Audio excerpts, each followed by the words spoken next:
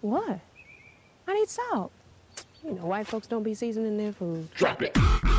Duncan and Bo come correct. Are you are you saying that your home already is covered in semen? I will not acknowledge or dignify that with an answer, bro. You should already know. If you don't know me by now. you will never, never, never spunk me. Oh, what? What? What? What? What? So yeah, Lovecraft Country. Hey, you know what this is? It's it's a show, Duncan. Let's get started. Let's do it. I've uh, the recording has begun. That's good, and we missed all that semen chat, which is good. Not all of it. There's a little semen chat that, eh, like like every good thing, Duncan. It's going to start with semen. of course, yeah, go downhill from there. Yeah. And then and then uh like all things that begin with semen, it immediately begins to die. I was, I was gonna from FAP to the coffin. That's that that should be the NIH's motto. From fat to the coffin, we we cover you. Yeah, you're.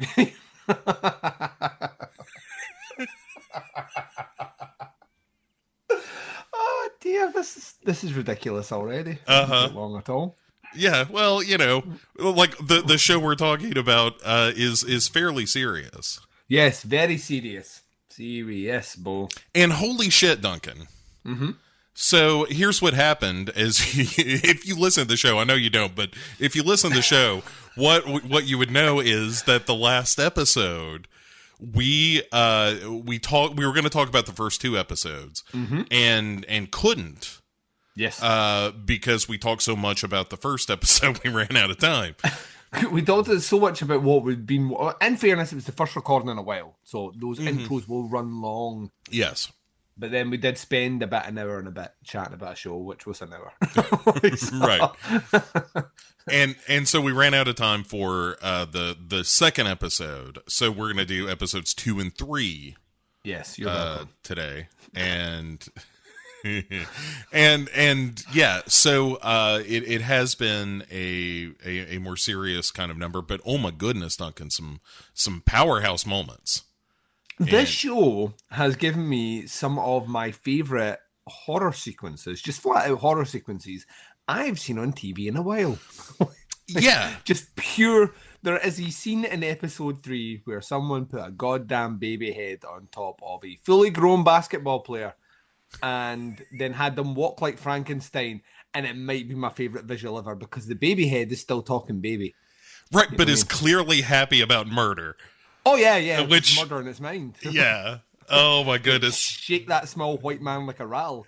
Uh, kind of amazing. Yeah. Oh man, it's yeah. We're we're having a good time. That's for sure. But but Duncan, Yes.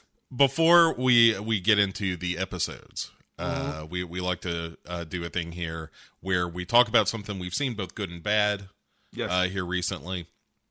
And i gotta be honest i didn't watch a lot of movies uh over the the course of the past week. Um uh but i not that i ain't got nothing to say. In fact uh i kind of want to come strong here. Ooh, do it then. and say uh for my is it my bad it's it's a movie i want to talk to you about but i think it's my bad You think it's your bad. i think it's my bad Right, go for it then. Okay, well, let's let's let's air this weird sort of indifference to the to, to the movie to the point that you can't really quite decide whether or not it's a bad movie. yeah all right so it's random acts of violence Oh yeah, yeah, yeah, yeah. I don't think it's a bad movie. I just don't think it's a great movie. okay but here like i i, I listened to your review of it and i Yep. was like god damn it duncan answer the question um I did I give agreed. Which is I- neither neither good nor bad. right exactly but it so here's the thing that i wanted to talk to you about is i think the movie raises an interesting question about whether someone who makes a living celebrating an actual crime Mm-hmm. you know like in, in the society we live in i think that's a very relevant question uh, uh you know are they complicit somehow in encouraging that kind of violence by celebrating that violence. Yeah, well, specifically when their when their theory of the criminal himself is that there is an artistry in the act of violence in which he perpetrates. Right, but, portrayed as the hero in the comic book in Random Yeah. Acts of Violence, and Yeah, uh, which uh, you know, for listeners, if you don't know what this movie is, it popped up on uh, Shudder. Uh, which it's is our favorite talking point at the moment because they're putting out so much fucking shit. In fact, my good movie is from Shudder as well. So strap yourselves in, lot of Shudder chat. Right like i mean uh, shudder is it has turned out to be a great value for Mm-hmm. horror fans and and i don't think random acts of violence is a terrible movie i don't think it doesn't belong on the channel or anything like that um but i i wrestle with it because like i said it- uh, you know the point of the movie is uh that this uh, comic artist has been drawing uh what is the name of the comic book it's like death killer or Oh yeah, Murder yes, guy. It's a murder guy. murder guy. A thirteen-part series graphic novel coming your way September. Um, yeah but but he right looks like a nice guy. He's not a nice guy. He's a murder guy. but but that's what it is. It's a the story of a, a serial killer who goes around murdering people and, and creating these very elaborate crime scenes and stuff like Yeah, that. yeah, yeah. And and so he's writing the last issue. the The comic is ending, um, and then he's doing a tour across Canada essentially.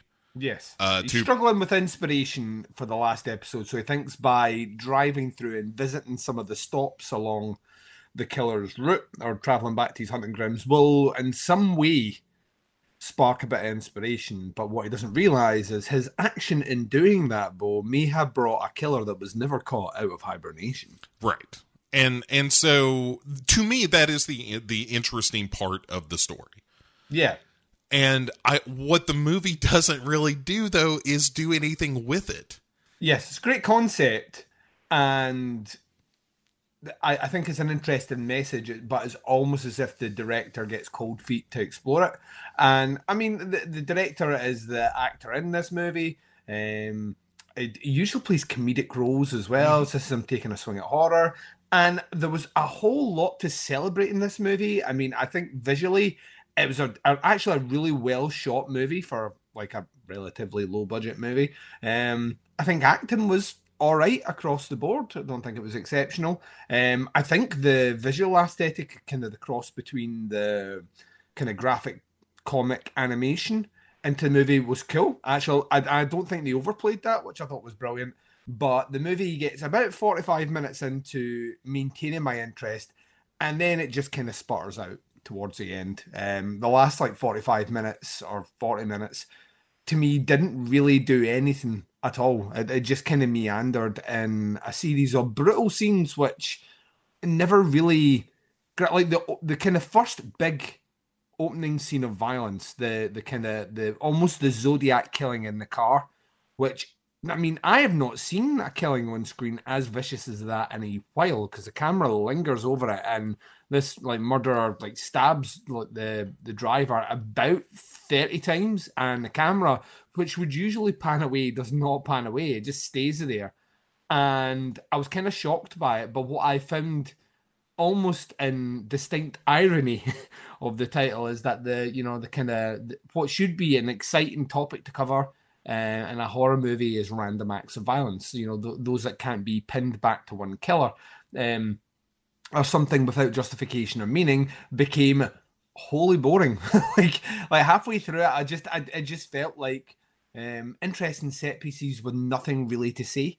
Um you know like it it started by answering or proposing a question which i thought you know that could be quite interesting to explore. And then like well we're not going to do that. Next scene. Um and yeah i, I found it no, it's not a bad movie, and I'm sure there's plenty of people out there that will enjoy the violence of the movie because it doesn't shy away from it. But to me, there was a really interesting subject in there, just waiting to be teased out and and, and kind of almost reflecting, kind of like the the funny game scenario where you reflect it back on the audience. Um, Yeah. you know, like, and, and it's not there. It's not there at all. I'm one of these morbid guys that loves serial killer documentaries. Would probably buy serial killer memorabilia if I had enough money to do it. Um, but and I, know that that doesn't make me a terrible person, but it does mean I should be questioning why I would do that. Um, why I'd be so fascinated to the point of investing money in something like that. And there's a really interesting topic you could get into with that. Um, you know, what what is your role as pertains to that? Um, is there any role in that, or is that just is that just um on some level like a, a kind of negative aspect of capitalism as well? Uh, if you find your niche and it's off tragedy, you know, what does it say about you if you exploit that for money? Um, there's tons of things you could go into, and the movie out with the conversation, which I thought was kind of great in the radio station. Mhm. Um, it doesn't really, doesn't really do much after that. Yeah, that to me that was the big disappointment was like, well, then you just become a movie that is you know, sort of refreshingly brutal in its in its uh sadistic murder scenes where it's like, okay, well this feels visceral and I have a an emotional reaction to watching this. Um but other than that, it doesn't really it just doesn't fulfill the promise of of, Yeah. of what that first like uh, up to the radio station scene like I, i'm with you that that scene was like oh shit this this is really going to go into an interesting very you know uh self-reflexive kind of direct direction. But it's a question i think that all people who watch horror movies have asked at one time or another of like you know why am i so fascinated with with this kind of morbid shit? What does Yeah. that say something about me? And also what is the difference between something made up and something that draws so clearly from reality? And is Yep. that the like you're fictionalizing a real thing and at what where is the line between fiction and reality Yeah, one And- of my favorite characters, and all well, we've spoken about this before in history of cinema, is Buffalo Bill. And Buffalo Bill, you know, is a is an amalgamation of Ted Bundy and Ed Gein. Mhm. Like the way he traps his victims is Ted Bundy. What he does to his victims is, you know, Ed Gein. Um, and so that's a bit like um, Thomas Harris pulled that directly out of real life events and you know tweaks you know moved it slightly to the side to to create a fictional serial killer uh, character wholly grounded in reality. And you know I fucking love that movie. And what what that you know there's there's so many elements that you can get into with it. And maybe it's too much to ask for a movie to that a movie like this to deliver it but you you tease us by setting you start off so strong in that movie right. that I I I'm like you know I had my full attention. Um and then towards the end it finished and it was a- an ending that I kind of expected. Um and the last 45 minutes kind of dragged on. Not a bad movie by any stretch of the imagination but you know with, with just a little bit just a little bit of tweaking and a little bit of time and a bit a bit more daring I think I think sometimes people feel that the daring thing you can do is be very violent on camera, and I actually think that's the least daring thing you can do. It's very easy to be violent on camera, right? It's very, very, especially when you're you're playing to the the festival circuit and Shudder's picking you up. Very, very easy to be violent, right? What's maybe a bit more challenging, a bit more difficult, is to take that violence and make it a question um, which the audience then has to ask about themselves. And like I say, that's what Funny Games does so so well. And it's interesting that like maybe that's a concern is like Funny Games is still one of those movies that there are swaths of people that just don't get it. Yeah. Just just don't like it, but don't get the message. They just think it's violence for violence sake. Um and they don't understand the message behind it. And sometimes that can be a bit daunting on a filmmaker. He's, I, I'll tell you, it, it was an it had an interesting premise and it was shot very well to the point that I'll be interested to see what he does again. Um, he, he certainly he can certainly direct. Uh, I just think he needs some tweaking, so to speak. Um, right i wish someone had had had kind of pushed like jay baruchel somewhere Mm. in the writing of it to be like no man just like lay it down like be if you're going to be a movie that's going to discuss these themes then make your movie about those themes and not just sort of at the end of the movie it's just sort of this kind of like revenge story but also maybe a grudging acknowledgement of like yes i deserve to die because of my complicitness with mm-hmm. these new murders.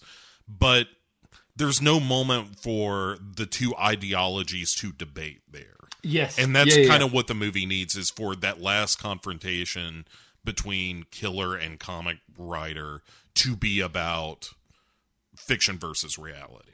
It'd be like showing up to a debate between two heavyweight debaters that get to have their opening statement and then that's time up. Right, right. You know what I mean? The opening statements are like, "You smell like farts." Yeah, well, you suck.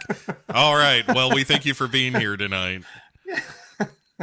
Well, let me pivot to a Shudder thing that I really, really like. Please do. Um, Impetigore.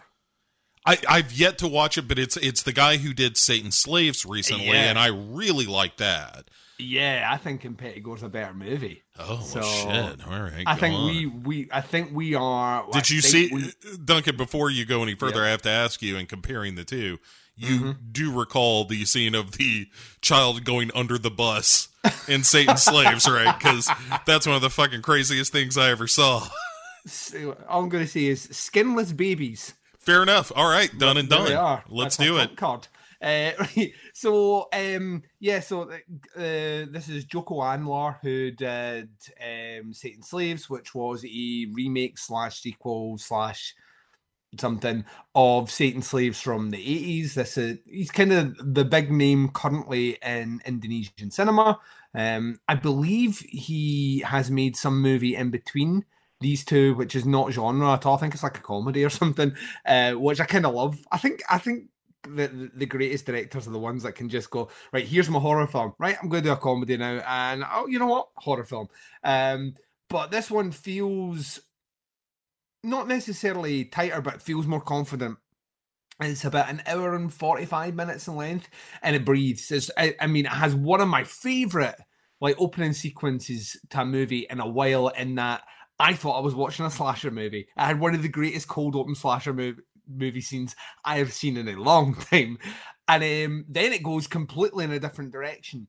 Uh, and I won't give away too many details except that two people, um, two young, uh, well, two young ladies, uh, travel to uh, kind of. To be honest, I think Indonesian horror is maybe I don't know, maybe 10, 15 years behind what everything else is. It's like they've only just discovered movies like The Ring, like last week. Right, like, right. "Oh, these movies are great, make them. And I'm cool with that. I'm cool with that because those movies have been so far away for so long now that when these movies come in with a fresh take, I'm like that. This feels refreshing. yeah, I want to watch this. So Uh, yeah, Um, at the time, I said that Satan's Slaves was like it, somebody had seen uh, The Conjuring Uh-huh. and was like, "Oh, I can do a better one of those." Yeah, as I, I, they feel they feel older and almost in in the way they're telling their story, and I, I I'm totally down with that. But um, we find this girl who finds it that she's relatives who have left her this large house in the middle of this kind of very rundown shanty village um, that you know has a bit of a dodgy past, and she thinks that what she can do is go there posing as a essentially as like a university student and find out if she can get some information about these this extended family that she knew nothing about. Uh, and when she arrives there, she finds out very, very quickly that all the locals are, to say fucked up would be an understatement, um, maybe Satan worshippers, and there is a curse on the town. Um, that curse meaning that any newborn child is born skinless. Um, and that's where I'll leave it. so, um, really, really, really good. I mean, I, I, I thought it has one of my favorite openers in a movie that I've seen in a long time. The closing scene in this movie is maybe one of my favorite closing sequences I've seen this year. Um, wow. And All that is like when it when it finished, I was like, holy fucking shit. Um, and in between, you get you get great acting, you get gore, you get ghosts, you get like there's tons of stuff happening here, and a really good mystery that works in there. There's a bit of the Wicker Man in there as well. This kind of idea of folk horror uh, and kind of occultism in this small village, but nowhere else, and our characters are trying to stumble their way through it. There's a bit of everything flung here, but it holds together very, very well. Like I say, great performances, shot beautifully. I mean, this this looks like a lot of money's been spent on it, and is bookended by two of my favorite Uh, two of my favorite sequences that I've seen this year, that are right up there. Um, yeah, Joko Anwar is no joke. Uh, he is not a joke Anwar. He's Joko Anwar. Oh, I don't know why I did that. Hate myself. Hate myself. Um, I actually feel like I should be in that meme where Gordon Ramsay has two bits of bread either side of my head. Call me an idiot sandwich. Um, but yeah, I think uh, I think it's I think it's brilliant. I don't think it's. I, I, let me temper it by saying I think it's brilliant, but I don't think there's anything necessarily new about it. If you know what I mean, I don't think it's reinventing the wheel or bringing anything new to the table. But I think what it is doing is showing that he is a very, very powerful new voice in Asian horror cinema, and he has me. He had me in with Satan Slaves. I thought Satan Slaves was brilliant. Mhm. Um, I think this one just beats it out, just just a little bit in that it it seems like, and he wrote this one as well. So this is his first original kind of. He's not he's not taking he's not remaking something or anything. This is his first original movie uh, with you know his writing and, all all the stuff there, and it's uh, yeah I think it's very very very good. I gave it a four point five out of five on the old Netflix scale, and I think if I watch it later on in the year, it might edge up a wee bit more. So uh, yeah, Impetigore is exclusive on Shudder though. So once again, um, get yourself a Shudder subscription. I mean, it doesn't cost a lot of money, and you get seven days free. I think it is. So even if you want to jump across, check the two movies we spoke about and cancel your subscription there. You can do that as well. So Yeah. Um, you go to shudder.com uh, forward slash DBCC. And, which will and- get you to uh, this link is not recognized. Yes. But if enough people do it, then maybe they might ask why. right. And then they'll be like, hey, it's it's time we got on the DBCC train. Yeah, if they aren't already, Bo, they're looking. They hear us. We know you're there. Look, a- after they gave Joko Anwar another movie, clearly they listened to us about Satan slaves. Um, Well, this idea of like, do do we give him another go? Well, did you hear the DBCC rating? It was super high. yeah, they they On the it. hot or not scale, they give it a hot. Cheers, cheers to Satan slaves, says Duncan Book. I'm correct. Let, me- let me pivot. Let me pivot. To, so I had these lofty dreams and aspirations that I was going to start the haunting of uh, of um, Thingy House. It's escaped me. The haunting of Hill House, and um, Oh, all right. these other, yeah, all these things I was going to do in the interim, which I've not done. Right. So, Oh, I, I thought uh, Haunting of Hill House was going to be your bad. I was like, holy shit, No. What's No, happened to so- you? I don't I don't necessarily have a bad out with the the kind of the obvious things that you know kind of pretend are, are bad for me in that I watch a ton of movies and different series like Sure. for my show and some of them are just naturally not very good and I could go down that road and it doesn't feel fitting instead what I've been doing is I created I I created Bo a list of must see TV from the last two years that I have not seen. And it turns out there is 42 TV shows on that list. So now with a list in tow, um, I I have started picking them off um, in an order which will frustrate you because Haunting Hill House should have been on there first, but it's somewhere down uh, about five or six on that list. Um, and that I've picked shorter ones to pick off so I can build up a bit of momentum. It's never great to start off like if you hadn't watched telly in years.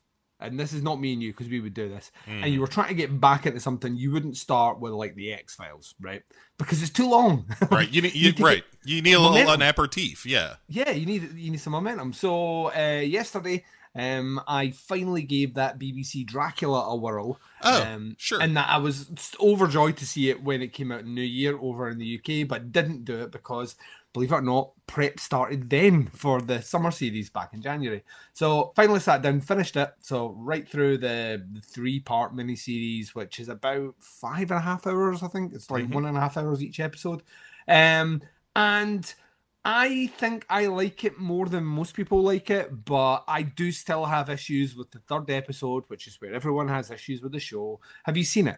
Yeah, I have, uh, and I, I think you and I might agree. Uh, Everybody, everybody was like, "That third episode is shit," I totally disagree. and I was like, "The third episode is not as good as the first two, but it's fine."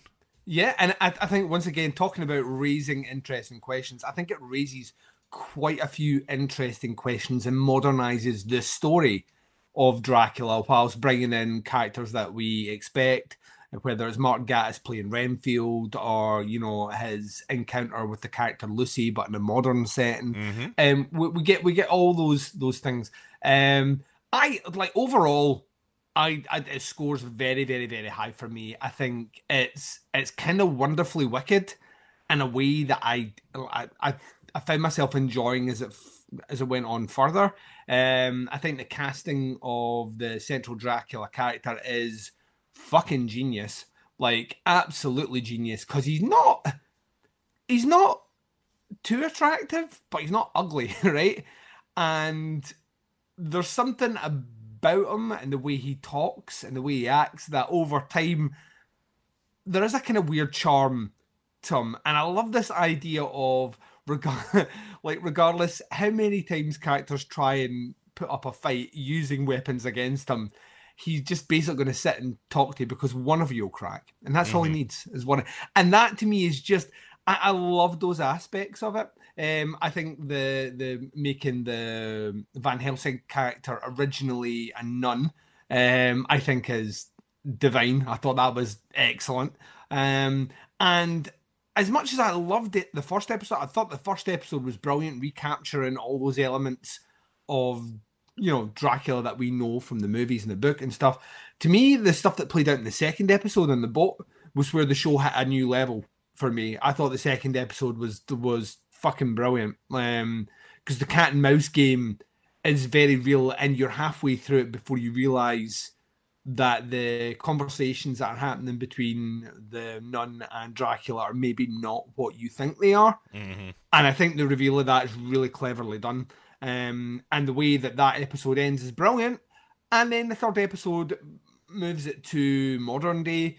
And I think there's a really interesting conversation, which we see in some movies that are vampire adjacent. We've spoken about this on our vampirism conversation earlier on in the year, which, by the way, go and check that out because I thought we did really good work there. And I'm not just saying that because it was me and you chatting, but this idea of um, eternal life, uh, change, changing of society, um, and how that would have an impact on someone who was so old, uh, and their ability to acclimate or adjust, or or certainly just even critique where the world is at now. There's there's some brilliant dialogue in this movie about you know Dracula basically saying that that there isn't there's nothing left to know now. You've you've quantified it. You've you know archived it. It's all on the internet. It's at a touch of a button now. The only thing that isn't, the only great mystery is death. Um, and that speaks more to him as an immortal than it does necessarily to humans. Um, and I, I love those aspects. Yes, it gets a bit goofy. um, as Mark Gatiss is writing it though, um, Mark Gatiss writes. He, he was in the League of Gentlemen, and that's darkly weird. Um, and obviously did Sherlock, and Sherlock at times could be a bit weird. Uh, so th- to me, that didn't it didn't put me off because I'm used to that sense of humor. So when it arrived in it, I kind of flowed with it. I think the endings maybe not as strong as it necessarily should be, although I I enjoyed the finality it brought. Um, like the the ultimate reveal of of like what what underpins Dracula's fears was kind of interesting, but didn't really explain anything at the same time. Kind of left the door a bit open. I didn't feel like an overall satisfying explanation, while it did answer some stuff.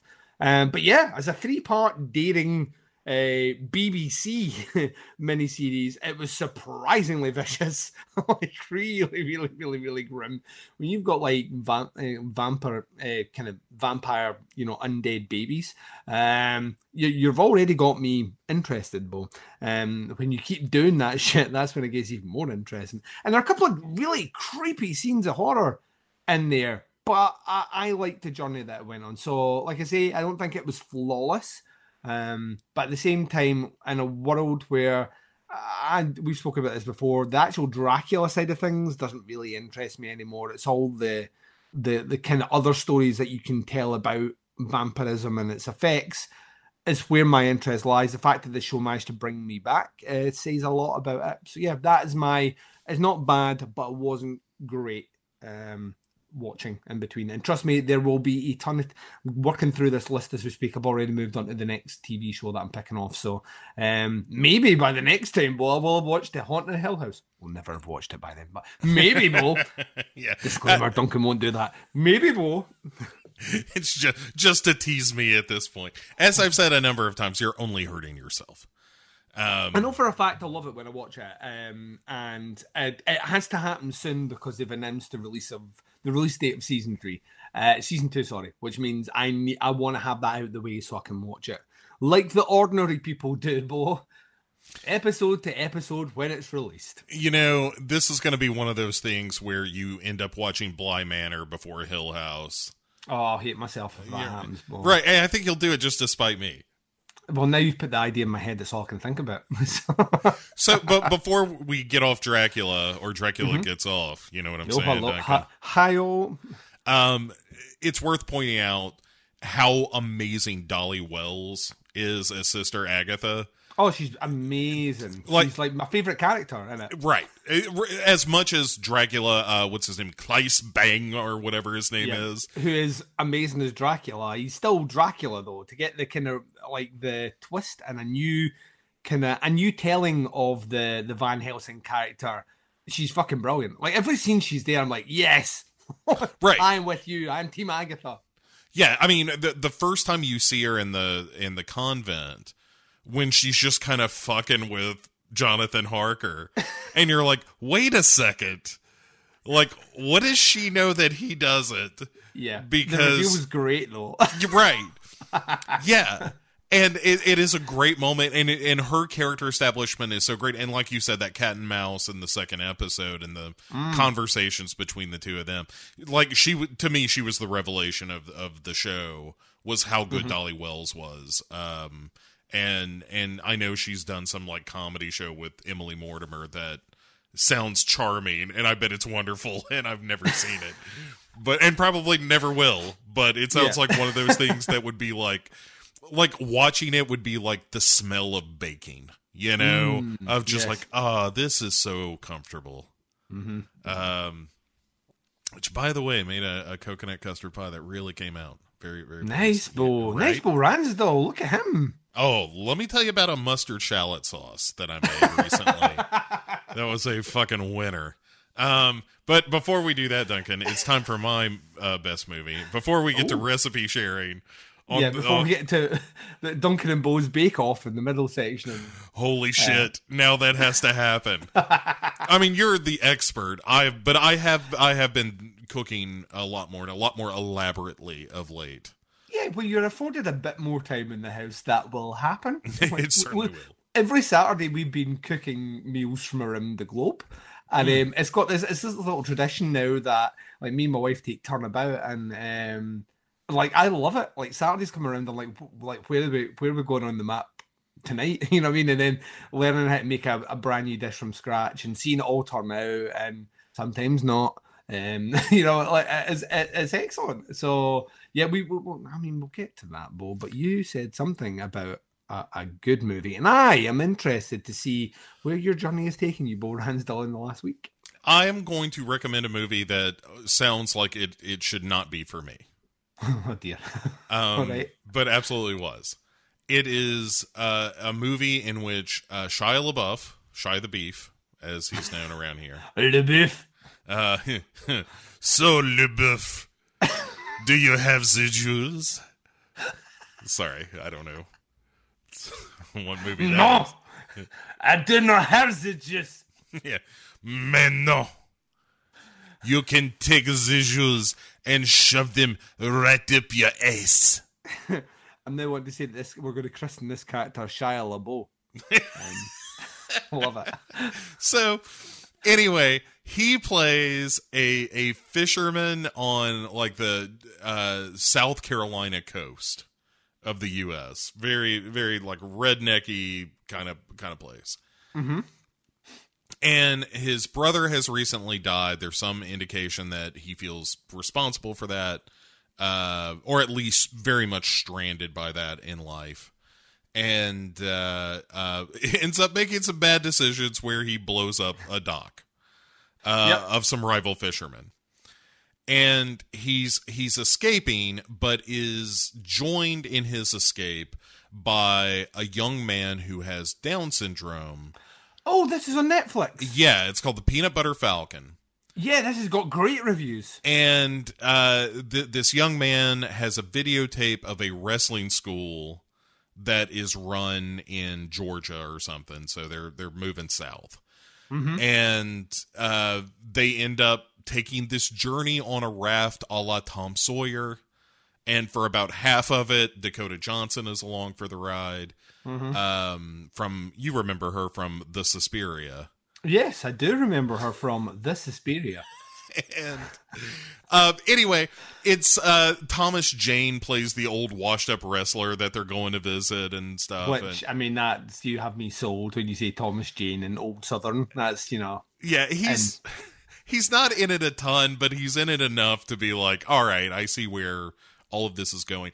But it, it it's a very, it feels like a very cookie cutter kind of tugging at the heartstrings kind of movie. uh-huh. but what the movie does is it makes the characters all feel very very real even though the situation is kind of fantastic in its way um there is a a reality to the characters the movie isn't saccharine uh, about the way that it it shows the especially the relationship between Shia, Shia LaBeouf Shia the Beef and his brother who's played by The Walking Dead's Jon Bernthal. Oh right, Um, but Fuck's he's in it for like a couple of minutes in flashbacks but Mm-hmm. it's just little moments and little conversations between them and you understand what's happened without the movie ever having a character be like well listen shia labeouf here's what happened between you and your brother. And it, it's kind of nice that it, it sort of evolves sort of naturally in, in terms of you understanding all of these characters. And and like the the the young kid or not kid he's a a, a man. He's an adult um with down syndrome. Uh but his parents like completely abandon him and he lives in a, a nursing home at the beginning and his roommate is bruce dern oh fuck's it. There's like, like what? How do you get Bruce Dern and just like? you tell first of all you tell him you don't have to stand up for this movie you well, he's sit in, down the whole he's time in. He's in there. So, I love Bruce Dern. I He's- really do. and he's great in it. He's kind of like this kid's sidekick, sort of, Hmm. In terms of helping him escape. Where he's like, "You want to get out of here, kid? Good," you know, and just you know helping plot this escape and shit. It's all very funny, and um, it yeah, but it's a real. It's a really heartwarming movie without it being a movie that feels like it was meant to be heartwarming, if that makes sense. Yeah, yeah. Like it, it comes by it honestly. And when you get to the end of the movie, it's not a great big now we all have a house to live in. You know, it's not like that kind of ending, but it ends in a place where it's like, oh, I feel even though at the end of this movie, slight spoilers, Shia LaBeouf is beat to ever live in fuck at the end of this movie. to the point where like he can barely open an eye.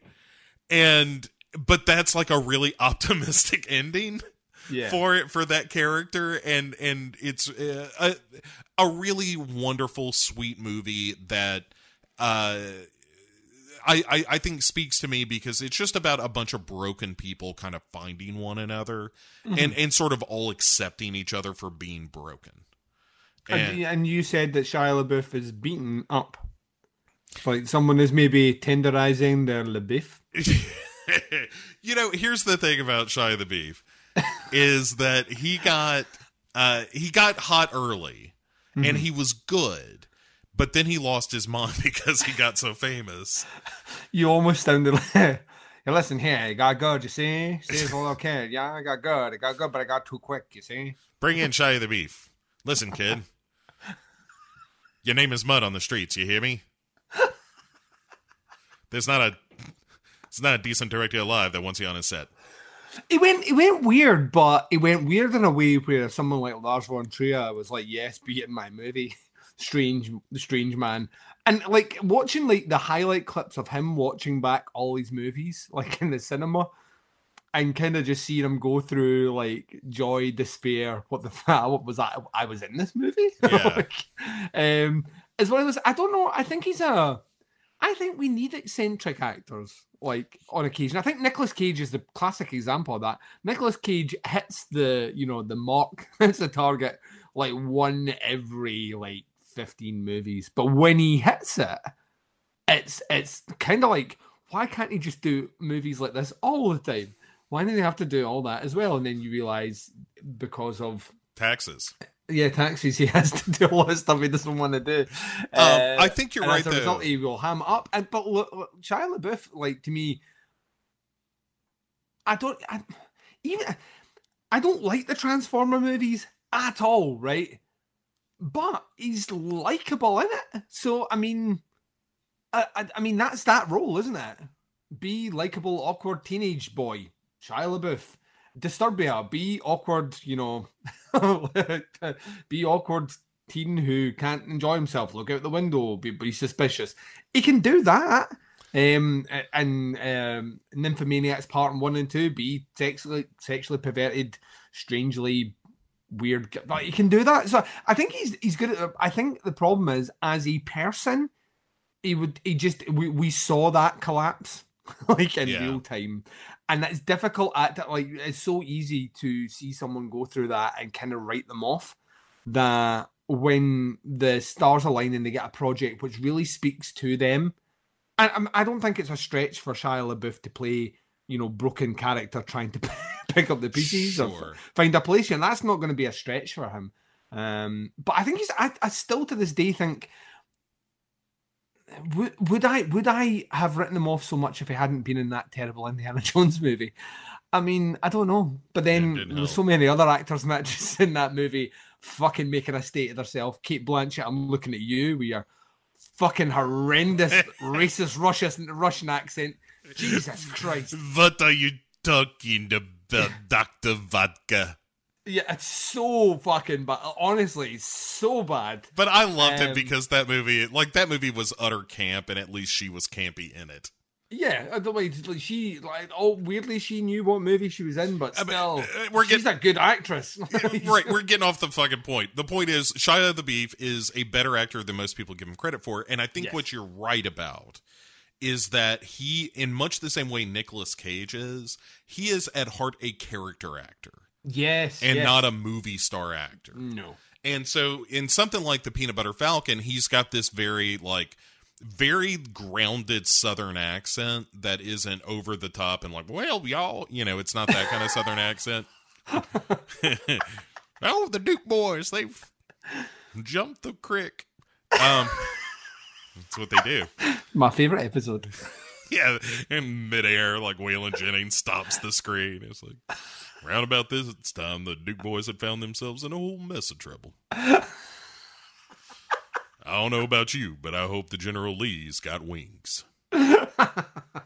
Down, down, down, down, down.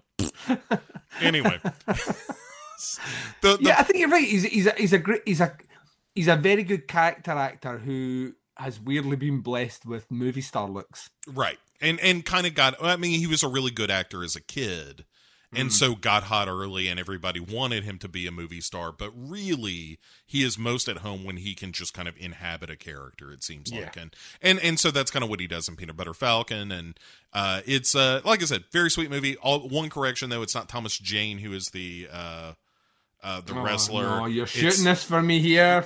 uh, let me um, let me correct it and give you one addition that's going to more than make up for this.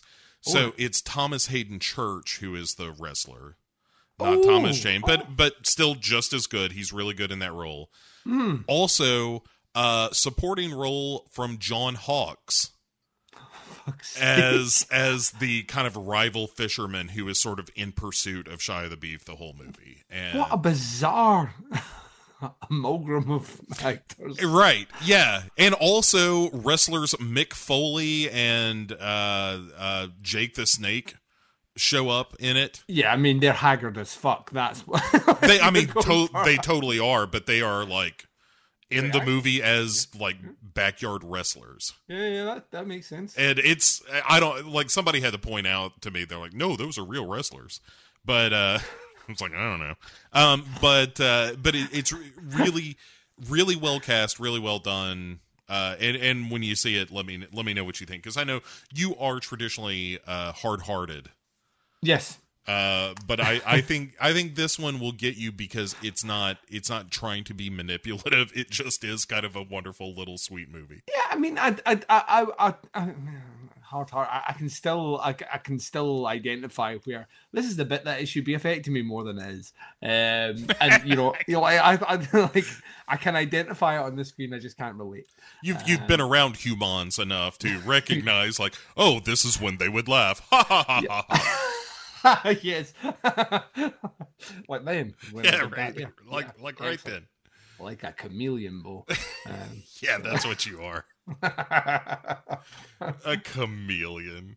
Um, chameleon. hey, you you want to talk about some uh some Lovecraft country? Yeah, I don't think much happens in these two episodes. Man, all right. So at the end of the second episode, no shit. Uh, at the end of that episode, uh, the one we're about to talk about, called "Whitey's on the Moon," is the name of it, Yep. which is fucking great. Uh, awesome. see the first episode when we talked all about how much I love uh, Gil Scott Heron, Mhm. uh, who did both this and um, uh, Re- the Revolution will not be televised. it won't be televised. Oh man, that's so good. You cannot afford to stay home, brother. It's oh, it's so fucking good. The Revolution will not be televised is one of the best things that ever came out of the '60s. Um, anyway, Whitey's on the Moon's like top ten. Yeah. Um, but uh, anyway, at the end of the second episode, I was like, "Is it done? well, Are we I- I- done now?" Yeah, I, I, kind of like you. I was like, where do we go from here? Like, because it almost felt like, it almost felt like we were practicing tantric sex and just couldn't hold back on that last tug. You Yeah, know? I was like, oh no, now we have to start all over again. Doug, Um, Duncan was like, "Where do we go? Where do we go now? Where do we go mm, now? Where do we whoa, whoa, go?" whoa, whoa, sweet child of me, mine, me, sweet child of mean. Listen here, sweet child of oh, mean. sweet, sweet sons of Adam. Yes. Yeah. Oh, see, I love where everything is going right now. hmm Everything is going. Everything's turning up. Duncan and Bo.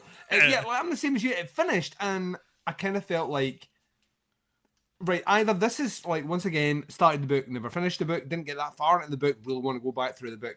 But I did kind of get that feeling of, well, maybe the book is the first two episodes, and then from there we're going off and doing our own thing. Yeah, Um, which I mean, that's how it felt. It definitely felt like the conclusion of a story. And then I saw the this is what's coming up on episode number three, and I was like, I don't usually watch these, but I'll watch these. And when it finished, I was like that. Oh yes, right, you've got me in. You've got Yeah. me in. I- Completely got me in because it's a different take, but it's still very much 100% grounded in everything we've just done. So yes, I yeah I did the uh, exact same thing where I don't normally watch those because I'm like ah I, I'm I like being surprised. mm-hmm. But this was when I was like, what the fuck is is it? Are they Where do we digging up Uncle George in the next episode? Spoilers. Um, spoiler alert, Bo. yeah, I'm dead. God damn it. got shot in the goddamn belly. Um, but yeah, when and then when I saw what it was, I was like, oh, they can do anything. they, they can do anything, Bo. And like, we're gonna get into it, right? But episode three, you know, like drops down some big old veiny Amityville cock on the screen, Yeah, and then just screams, "Look at it! Look at it!" it's it!" all right. Let, let's let's start at the beginning here because Yes. uh, we open on Uncle George and Leti dancing around in the rooms that you know up, are in this manner that they showed up at uh, uh, at the end of episode one. Could you say, Bo, that they were moving on up? dude when they when they just start off with the jeffersons theme in this It's the episode. greatest fucking thing ever. and it's just a reminder that it's like man this show just fucking has the fucking balls on this show. The fucking balls on this show, Bo. right. And i and i love it. I love everything about these scenes. It is uh it's, it's, just a it's as it's the it's the TV cinematic world confidence of a CEO arriving at a board meeting carrying a golf club. Why does he have the golf club? but he has it. That's how confident he is. He knows he's not going to use it in that meeting, but he has it anyway. I love it. Yeah. And in fact, my note there was just, I love this show. It's it it is and the rooms are filled with the shit they love for uh Leti. It is just clothes of, of all stripes that fit her All of them perfectly. fit her perfectly, Bo. uh for for Uncle George, it is every book that he ever wanted. Mm-hmm. Uh, which is a wonderful characteristic. Like I, I love Uncle George, uh, just as a character. Yep. And we his- love him, R.I.P. And yeah, his his love affair with literature and you know, my favorite book is goddamn Dracula. and I like I like epistolary novels, goddamn it. Huh? You got a problem with that? Fight me. you don't like epistolary novels, you ain't shit. God damn it. Them's fighting words. right. I don't know. I, I I just prefer straight prose. What? Flips a table. His mustache is on edge. it even worked on the goddamn notebook. That book is straight trash. But I could read every goddamn word of it. Because it was epistolary, goddammit. I like a passage followed by a date.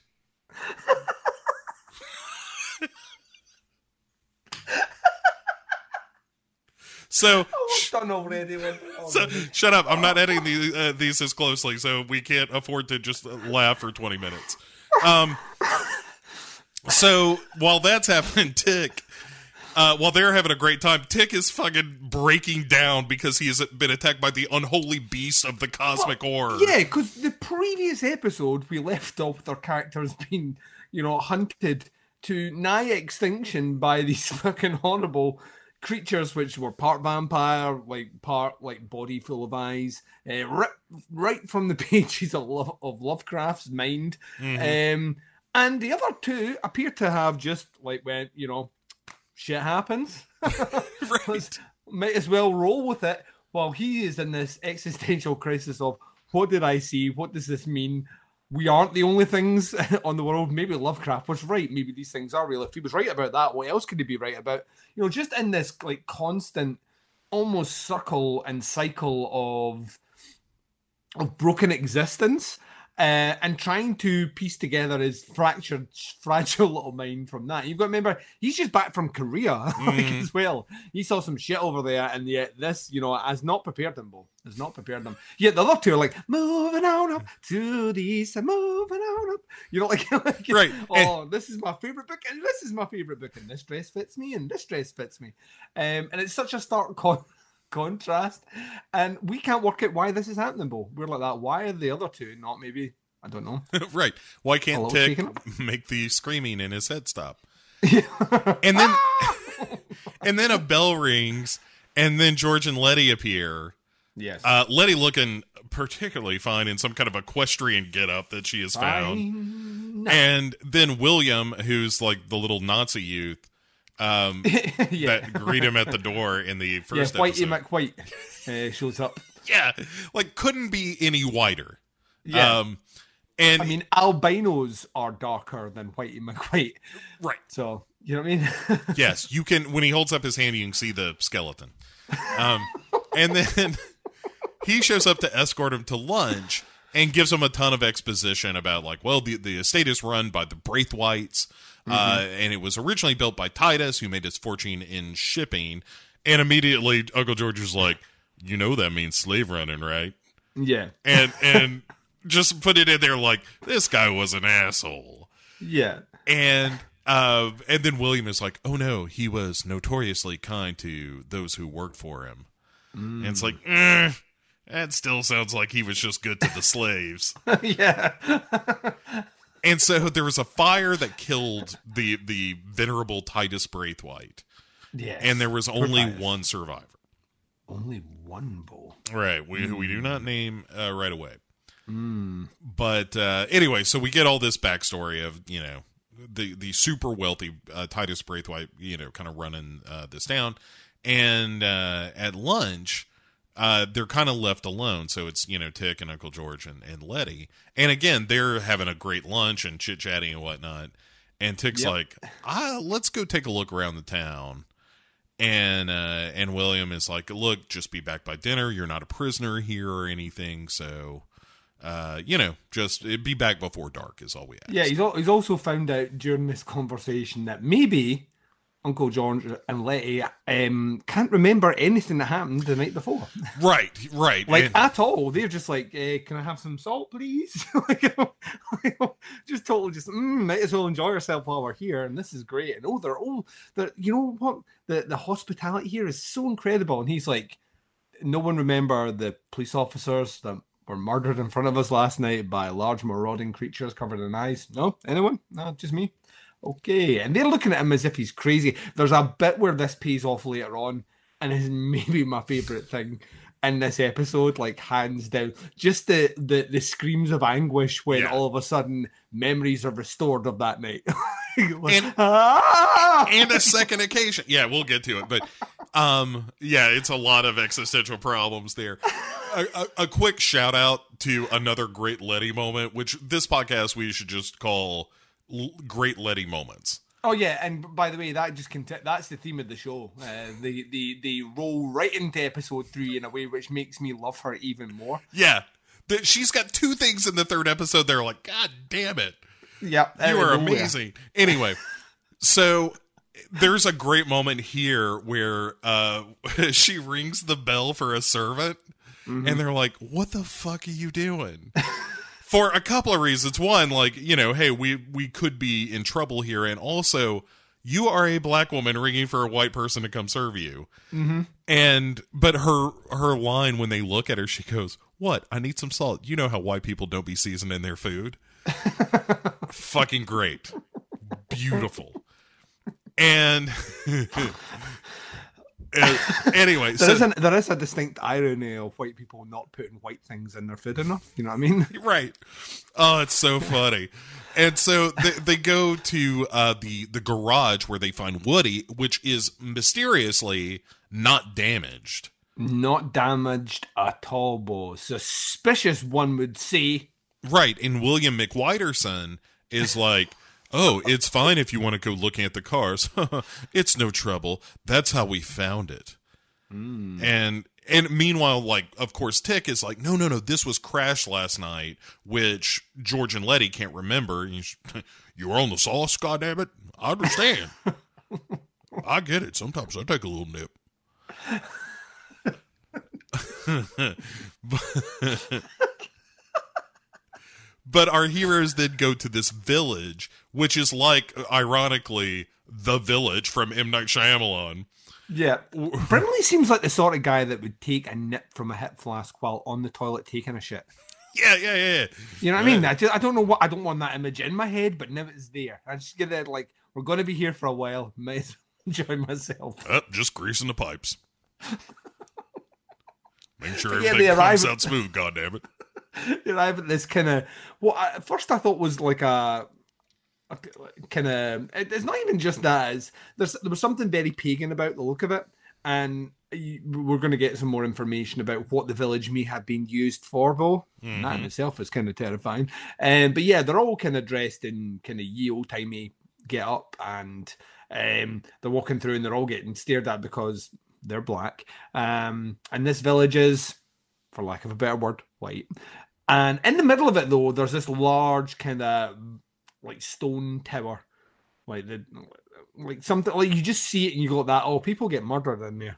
like, Right. That's a murder tower if ever I've seen one. when I see it, I I also like here that uh, as Tick is wandering around, like I know Dad's got to be uh, imprisoned here somewhere. And by the way, you hear that whistle? That's like the whistle that called off those monsters. yeah, And while he's realistically explaining their situation, Uncle George and Leti are like, "I think he's got shell shock. Goddamn it, he's he's off his goddamn rocker." We're gonna have to hit him over the head with a coconut or a rock. when I give the signal, which is two twitches of my mustache, When it goes left, right, left, left. up, down, up, down, A, B, A, B. When we unlock Leti's superpower and she karate kicks him to the forehead. That's right. My, my mustache knows the goddamn Konami code. Why wouldn't it? Uh, let me ask you that question. Why would it not? It knows pi to eight places. For exact them. measurements. All eight of those places are stuck in his mustache where he's eating it. Yeah. Oh man. Oh, oh dear. But so they then uh out comes a, a woman with a pair of snarling dogs. And When you just hear when that happens. yeah, and she's she's a real pill. They uh They're like, "Hey, this this big stone building here, what's in that? Is that a prison?" And she's like, "Oh no.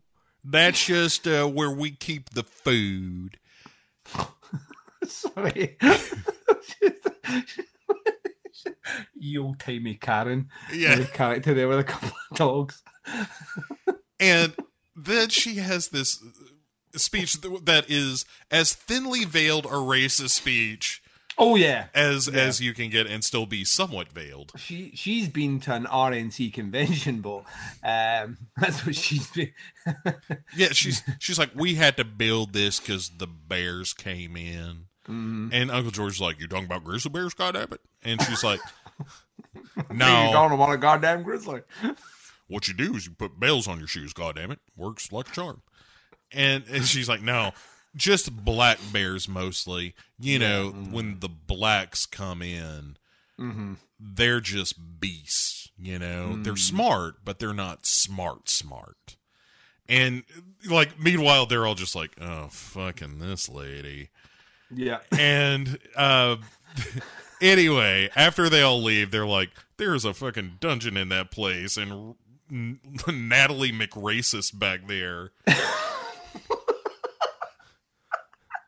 is hiding something because if that place uh, is made of stone, it's got a dungeon, and that's probably where Montrose, aka Omar, is being Yes, kept. Omar. Yeah, while they're in there looking, HBO's The Wire. yeah. While they're while they're in there looking around, they hear.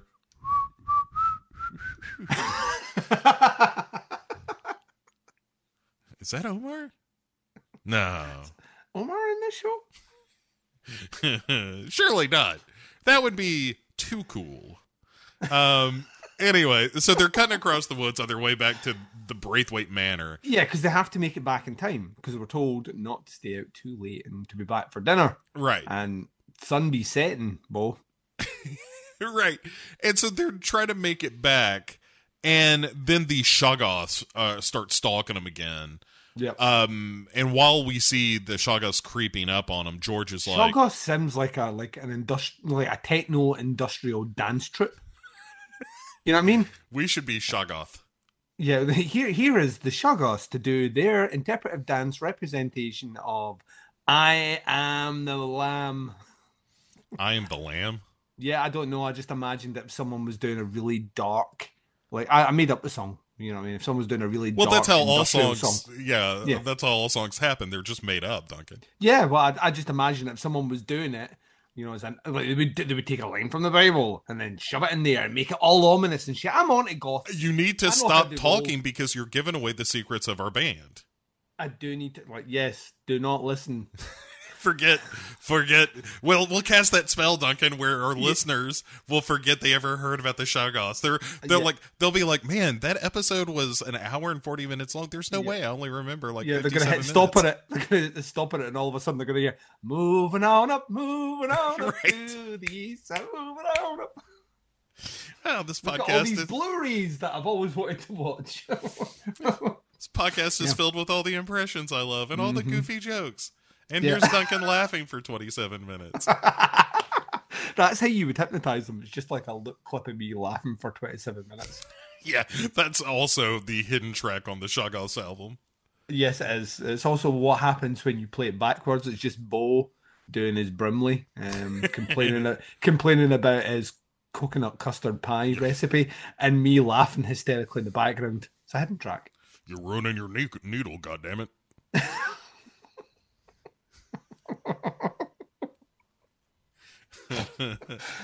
and all right, so while while the Shoggoths are stalking him, George is like, "Hey, no."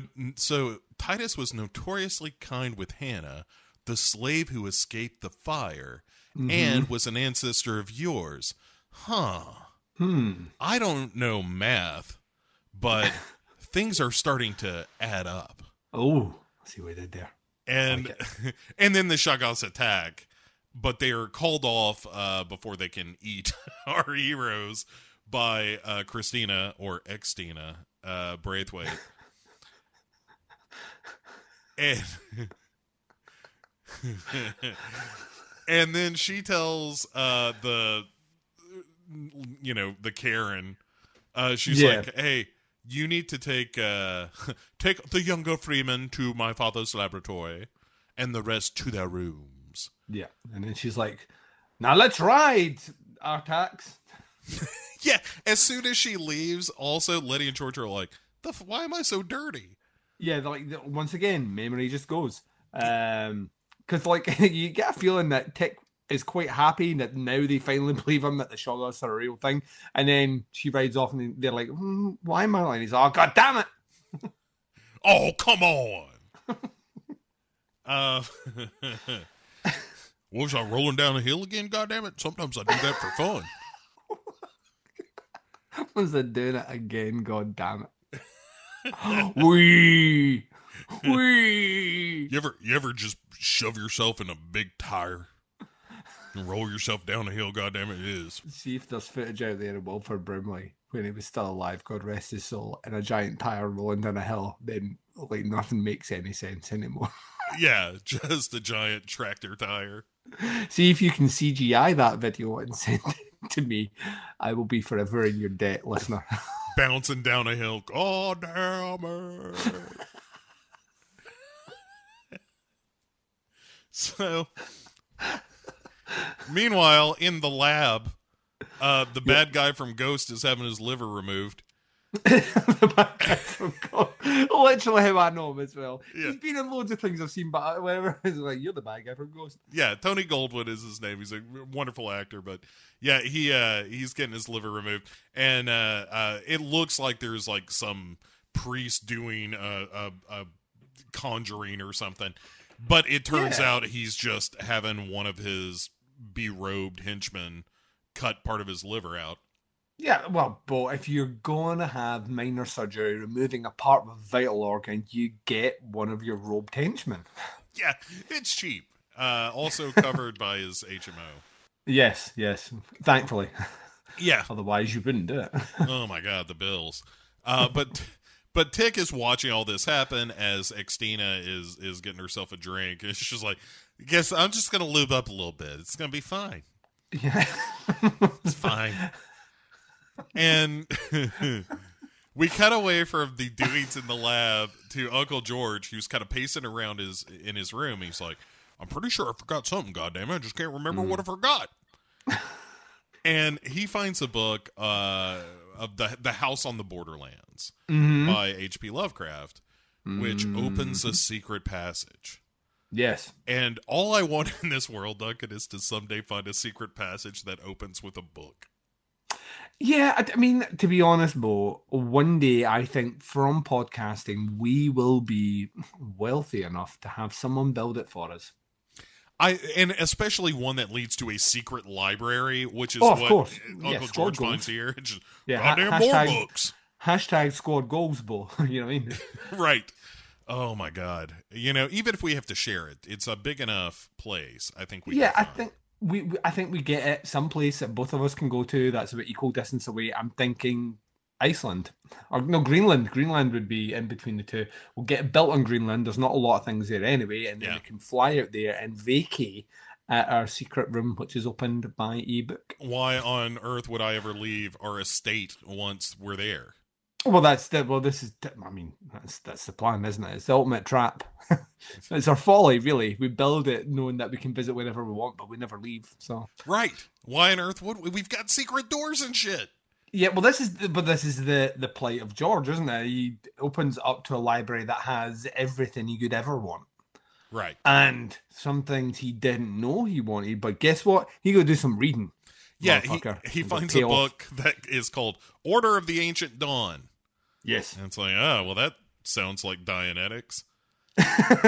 and then, and so uh, then the bad guy from Ghost is, is being sewn up back in the lab, and uh, and he and he stands up after the rogue guy leaves, and it's like, oh, he's the real uh, villain of the of the show. yeah. And uh, he looks at this painting is a, a, a portrait, a por- not a portrait, is a picture. there wasn't an artist at the time uh, painting Adam as he named all the animals. That was uh, arguably did not happen. Um, oh dear, hot take. I take that. Like, I, I've alienated the the RNC listeners uh, from the show, and now you're alien. Well, to be honest, let's cross over this. That's fine. Oh, just wait till we get to the Aristotelians. we will we will undo their moral philosophy. Um, Come at me, Illuminati. Come at me. right, and all you Kantians with your nature of the good. I like the way you say Kantians and I say Cuntians. That's what I meant. Ugh, fuck. Yeah. Fuck Anyway, enough Ah! of my my philosophy ramblings. So, uh, but it's him looking at this Adam uh, naming naming creature shit, and Mm-hmm. he's like, you know, at the beginning of time, everything had an order. Do you know what I mean, Atticus? Yeah. mm, And he's like, yeah, you mean everything knew its place, and he's like, right, because I'm a villain. I'm the bad guy from Ghost. And he's like, My daughter, Xtina, believes you can be of use to us. Now get the fuck out of here. Yeah, and that's all you need to know in that scene. He's Yeah. like, audience, that is all you're getting from me. Stay tuned Yeah. for later on. I'll have exposition later. And then uh, Xtina takes him back to uh, take back to his room, and she's like, "Listen, I'm a friend. You can totally trust me." She's totally like, And and he's like, want to get peppermint smoothies later? Okay. "I just look. I'm gonna have a couple of martinis, and whatever my dad wants to do, my dad's gonna do. You know what I mean? I can't stop him. it's so pushy. just don't be a jerk. I'm I'm your friend. And anyway, uh, Atticus is like, well, if you're my friend, why don't you turn off whatever it is that makes uh, Uncle George and That's a Leti great forget? scene. So fucking good. And she's like, okay, got that. And then all you hear is, ah! in the background. And then it's It's so fucking good. right. They start screaming. He's stuck in his cell with like a force field now. Yeah, because we've got force fields. Well, but we kind of always have, like from the first yeah, it's like, episode. it's like portal force fields. Right. And and also like when the truck hit or did not hit the silver sedan, that was a force field thing and all Yeah, that it has to be. Goddamn force field, bro. Goddamn force field. Um and so while uh Tick is like, Hey, I'm stuck in my room, somebody comes to Xtina and is like, Hey, you told us to come get you when that thing was happening, and she's like, Oh right, I gotta get out of here. Smell you later. And then she she takes off. And it turns out she's going to this barn where a cow's given birth to a monster. Mm-hmm. One of the Shoggoths, Yep. uh, our bass player, no doubt. And You tell that by how long his fingers were. uh, and also he just naturally had a groove. He did. He did come out with a funky beat. And anyway, uh, so when and she like Xena is like, oh my god, it's so pretty, and is like hugging it. And all the people around her are smiling too, and they're like, "Oh, is this your first time?" And she's like, "It totally is. This is wonderful." Totally. Then I'm so glad she's sticking around in this show now. So Yeah. then voiced by voiced in this particular series is voiced by Bo's impression of Paris Hilton, and I love it. yeah, It's so hot. it's so God. Everyone's talking about Atticus and what he can do. I'm so excited. um, I just want to hang out with him. You know, just pick his brain. So, so Leti, meanwhile, is trying to jimmy the lock. He's like, I'm getting the fuck out of here. And then someone uh, sh- i- i- is outside the door, so she hides around the corner of this like wardrobe with the mm-hmm. knife in hand, like I'm gonna stab whoever it is that comes through this door. Yep. Would she Which would be me. That's exactly what I would do. And that's what Leti would do as well. So we're sticking true to character. And uh, because you're Leti, is that what I'm led to believe? No, that in that you put me in a corner, Bo. You put me in a room. I'm coming to stab you. Nobody in puts that room, baby in a corner. That's, That no one puts me in a corner, Bo. Mm-hmm. Unless you want to get stabbed. or or wants to do a Pat, Pat, Patrick Swayze esque dance. Oh, yeah, that. Yep. No. Oh, every time. You know, Duncan. Every time we do a show, it's the time of my life. Oh, boo you, boo. So, all right, shut up because it's tick Who's at the catching door. who? Who's catching who in the in the in the finale of I dance? feel like I'm the bottom there. Agreed. Uh, Oh, anyway, so, um, so it's Tick coming through the door, and and Leti fortunately doesn't stab him in the throat, and uh, he, uh, she's like, "Oh, I'm so sorry, I didn't believe you. The memories are all back." And he's like, "Yeah, I know," and there's a picture uh, in the room of this demon with a snake dick. yes, snake dick, and I observed that, and I was like, "That's an unusual picture." And oh my god, Right, there's and a penis dick, snake cock thing, snake cock. snake cock. One one of my favorite Van Damme movies. Jean Claude Van Damme is back. Snake cock. I was going in there, so I realized I can't do Van Damme at all, like even a little bit. Uh, yeah, yeah. and I stopped my I stopped myself. Really, I'm, I'm going to going- hurt you. Yeah. I'm going to hurt you. I can kick you like this. I'm going to kick you in the face. Yeah. Oh, Shia, La, uh, Shia LaBeouf can do it though. Yeah, that's my impression of Shia LaBeouf doing an impression of Jean Claude Van Damme. I love it. Yeah, I love it. it's uh, 3D chess. Um, but It's the inception of impressions. yeah. Oh, that top's always going to spin, Duncan. um, but so Tick is, is trying to cheer her up. He's like, Look, I know you're scared right now, but uh, remember this. And he kind of recites the, the prayer that uh, she used in the previous episode when she was afraid before she ran for the car. And um, she says, You know, I've been that, that scared since uh, one time my mom used to come home with a lot of men. Then one night she didn't come home at all. And that stretched into a couple of weeks. And when my mother was gone, I would sit in the window of the board- boarding house and I would recite that prayer and hope that she came back. And Tick is like, Don't worry, baby. I won't ever leave you. Yeah, and then I'm suddenly like that. I'm I can cut the fucking sexual tension in here with a bl- blade, Bo. Man, Big old saw. from the first episode, we were like, We need to see these two fuck. These Yes. two fucking human specimens need to be fucking in front of my eyes. yeah, th- this show is made or broken on the premise that if we see them fuck, the show is gold. This show is hot. If they don't, it's a knot, Bo. It's a knot. Cheers, cheers to episode two. No fucking. cheers to episode three. And giving it big thumbs down. Yeah. So anyway, uh while he's making time with uh with Leti, or so we I believe. believe we call that the fuck eye Bo.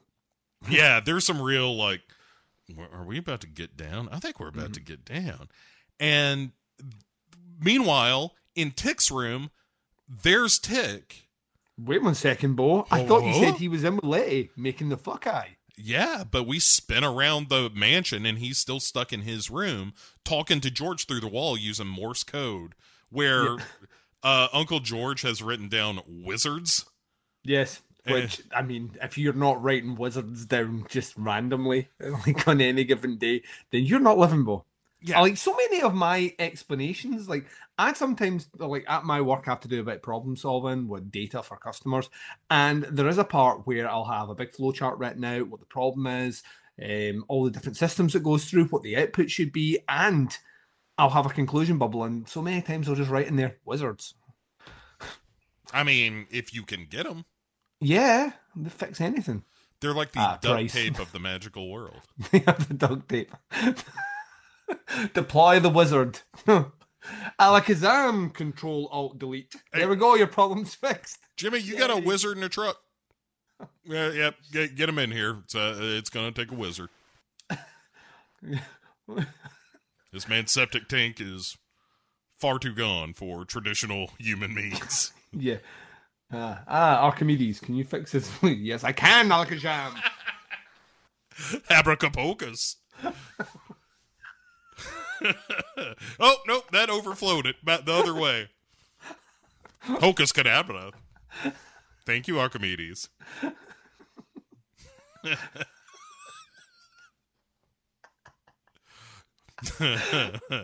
what the world do we paint, man? So- honestly, you live there for like a day. Service so ah. fast you'll think it's magic because it is. Hmm, Uh, Just a guy in the background pulling things at a hat. Like, like you've got a plumbing problem, a plunger comes at his hat. You've got a problem with your your your infrastructure. Like all of a sudden, there's a digger comes at you. like, you an accountant, a fucking abacus comes at his bag. I love it, Bo. He does anything, anything you want. Yeah. Archimedes the wizard. uh, yeah, it's a Swiss Army wizard. You can use him for anything. Swiss Army Wizard needs to be a movie. Yeah. Oh my god. Archimedes, conjure me a toothpick. As you wish. Dicka-dicka-doo. You know, I understand the celestial bodies and the construction of time and temporal mechanics. Yeah, I need a toothpick. Sesame seed stuck right at the back. I can I can give you untold wealth and power. With a, a wave of my hand and a chanting of my tongue. I can Just a toothpick. You can you can see nations bow before you. I love that so many of our great characters are suddenly struck with menial tasks that break their will. Yeah. Um, it's, it's great. They all end up the same way in Duncan Yeah. Bowles' world. yeah, uh, it's just that the curse of middle age, I suppose. Just the moment you realize it doesn't matter who you are, what you do, it's all Yep. it's all coming for us. where, where, where dreams are play- replaced with cold hard reality. Right. Duncan and Bo come correct. Coming your coming your way every week. Where where we don't mean to compromise, we just do. um, but anyway, while uh, interrupting this little conversation about wizards that they're having through the wall, yeah. um, Tick hears someone uh, near the door in his room, and he goes to check it out, and then somebody just starts shooting through the fucking door, Yep. and in comes Ji-Ah, uh, who apparently is a Korean soldier that he fought in the war, one presumes, and Yeah. also is the voice we heard on the phone in the first episode. Mm-hmm. Um, And yeah, he has to fight for his life here, yeah, and he obviously doesn't want to, but like Ji-Ah is taking no nose here. Right. She's one mission, which is death to death to the black man. So she's coming at him hard. one of them is trying not to murder the other. Yes. The other yes. one is not playing by those same rules. Yeah, the other one didn't get that updated rule book. So so they start wrestling, and then we see what what's up with Uncle George. Which you could argue Uncle George maybe gets the best out of the three deals. Sure, Yeah. yeah. he- uh, look, I, I'm an old man. I can't do snake dicks and and fist fights. How about some slow dancing?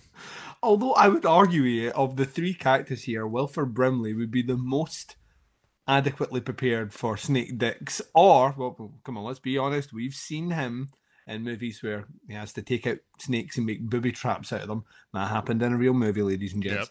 Um, and Wilford Brimley was in it. And to take down soldiers, once again, Brimley can do it. My money's on Brimley. Yeah, it, it, it's true. They're really wasting my talents. I could snap the neck of that GI girl and probably strangle her to death using the snake dick if I if I want to kill two birds. it's like it's like Wilford Brimley's version of the, the, the movie version of the Equalizer, where he sees the characters coming and anticipates how he take them down in four moves. I grab the snake dick first, rip it out by its root, trip up the woman, and then strangle her with the dick. that's going to be eight goddamn seconds. so I'm giving you a choice, goddammit. You give me a slow dance, or I will murder all of your ghosts. And they're like, "All right, all right, you get the dance. All right, you get, you get the does. Yeah, like because the thing is, like in the previous episode, um, we remember that Uncle George had phoned uh, Hippolyta to say, you know, next time we come out and do one of these, you know, I'll, I'll want you to come with me. And there's that. We've said it before. They are th- the most adorbs couple in Mhm. the history of TV. It's just like a, it's like a proper grounded love, and obviously she appears and they start having this very meaningful conversation as they're slow dancing. But Uncle George is wise beyond his years, Bo Ransdell. Oh yeah, And maybe he starts to put together that maybe things aren't like we see. yeah. He's like, "You're not real, goddamn it." But how about you give me a little bit of that ass anyway? that it doesn't say that exactly, but he, he he's. um, she's like, yeah, let's let's dance anyway. He's like, well, all right. I mean, if I'm stuck in this illusion, I might as well get me a little grope. Yeah. And then, so we cut from that to Leti, who is getting hot and heavier with Tick, Mm-hmm. uh, who, by the way, is getting stabbed in the shoulder in his room. One of them is not having the best time compared to the other two at the moment. And that Right. character is the one who never lost his memories to begin with. You could say that this show is shitting on Tick. and continues to do so. But so Yeah. then then we come back to George who's talking about the the house on the borderlands, the Lovecraft story, which is all Mm-hmm. about a guy who goes to this ancient village and and then moves on to uh what is it, the land of sleep or whatever it is, where he's reunited with his lover. And um is and, and then at the end of it a building collapses, which is like here's what's gonna happen in the rest of the episode. Yeah, like- a great, a great like level of uh, foreboding inevitability. Um, which once again, I love. We, we mentioned it in the, the previous episode as well. The show isn't backwards at saying, "Look at this book here." This episode's kind of gonna, it's going to emulate a lot of what you see in here. So these are not just, oh, we're just mentioning things as as kind of reference points. These are specific indicators to how episodes will turn out, which I once again think is great. Yes. And so all of this builds to this climax happening in all these rooms where uh, Uncle George gets off easy, where he's just like, "Well, uh, bye, Dora. Well, I guess I'll see you later, goddamn it." like a peck on the cheek and walk her, walk out the door, say goodbye to her, close that door, and that's his nightmare over. right? Like if if this ghost of Christmas past had ever visited Ebenezer Scrooge, he'd still be a skinflint. You're like, what, uh, what a perfectly lovely time. He closes the door and he's like, I don't know how I survived that. Um, meanwhile, though, Leti is getting a snake dick. Uh, like Tick pulls down his pants, and it's the demon snake dick.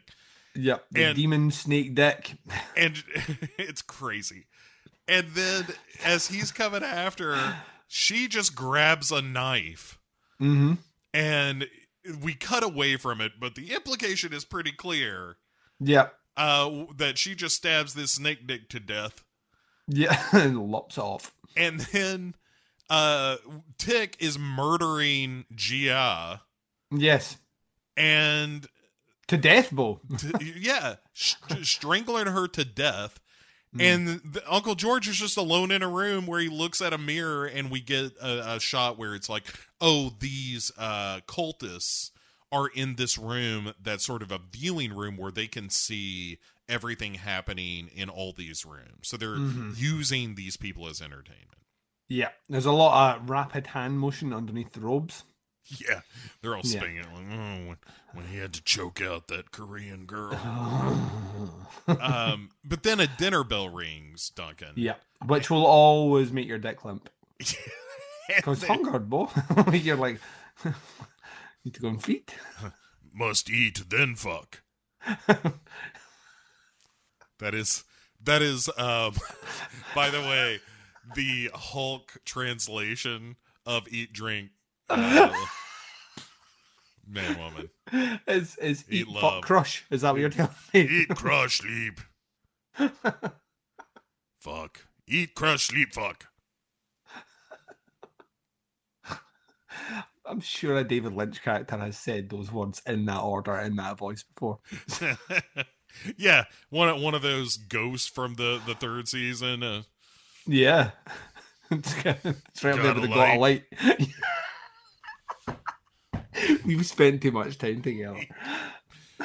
Eat, crush, sleep, fuck. This is the water, and this is Yeah, the that's water. like, it's like the cliff notes of that monologue. Eat, crush, sleep, fuck. D- uh, all right. So I I have to do, I, I we mentioned this uh on the Facebook page at some. And uh it- it's an article that I I, I saved because I wanted to bring it up on this show and you have given me the perfect segue. There was an article that kind of made the rounds. It was an old clipping from when David Lynch was uh working on some movie and and here is the the news report. Ooh. David Lynch is recalling a day in 1981 when he says he rescued uh, five Woody Woodpecker toys that he saw. The rescued was in quotes uh, that he saw hanging up as he drove past a petrol station. I screech on the brakes. I do a U-turn, go back, and I buy them, and I save their lives. He says seriously. I named them Chucko, Buster, Pete, Bob, and Dan. And they were my boys, and they were in my office. They were my dear friends for a while, but certain traits started coming out, and they became not so nice. Looking straight ahead, he says with a grim finality, They are not in my life anymore. Just I fucking love David Lynch so much. It is one of my favorite so things much. that has ever happened. Oh. Uh, him re- regaling this story of his five Woody Woodpeckers. It I mean, I've, I've, I've like recently in the last, my last two weeks, I have had the, I found myself dreaming a lot about Twin Peaks, um, which is weird, but like being like obsessed again to go back through it. Um, so Yeah. much so that I've watched maybe like I could have watched The Haunting of Hill House in the time that I've spent watching like videos of people explaining what they think Twin Peaks is about, specifically that third season. Turns out I missed loads in that third season. so much shit. Um and it's, it's weird because it seems like the, the internet has anticipated. there- Obviously, algorithms are pointing out what my interests are now, but there's so much weird David Lynch shit just suddenly appearing in my timeline now, like just like out of nowhere. Maybe you'd like to read this. And then the same week I was doing that, that's when that article was posted on the page, and I was just like, "What the fuck is this?" It's like the the like on it, and then I read it, and I was like, "Yeah, it makes total sense. I can imagine him doing that. I can hundred percent imagine him doing it." Yeah. It, it is both the least surprising and most wonderful thing David Lynch could say. Of course, of course, and it would always be told where the. Stra- I don't think I've ever seen him like telling a funny story. You know what I mean? Like where he's laughing at the end, and then the guy said, "You know, nothing like Right. that at all." It's always done straight faced, deadpan, and I think that's why he's maybe the funniest guy on the planet. Yeah, it, right. It's a, a very this uh, humble Midwestern sort of vibe to it all. Uh, it if is- he did a spoken word tour, it, it'd be the greatest thing ever. Because no two night would be the same. oh, absolutely not. No. Yeah, he, Uh, yeah, he would be capturing the spontaneity of of the moment. Uh, yeah. yeah, it, it- he's the the best. And and actually, in fairness, when when you sent me uh, that message of like I I want to go back through all of Twin Peaks, I was like, yes, we should. Yeah. Which, Uh, by the way, listeners, that might happen. It's So not off saying- the table. it's n- I I don't think it'll ever be off the table. We may at some point just say, you know what, fuck it, we're going back through it all. Strap yourselves in, um, and and be prepared for for. I don't even know how we would do it, but I I, I know we would.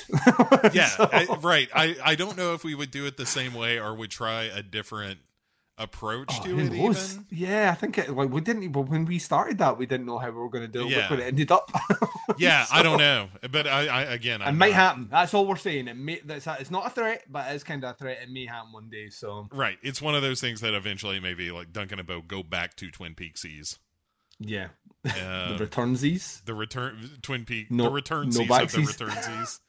Oh No my god. Twin Pe- Twin Peaksies no backsies would be the name of it. oh my god.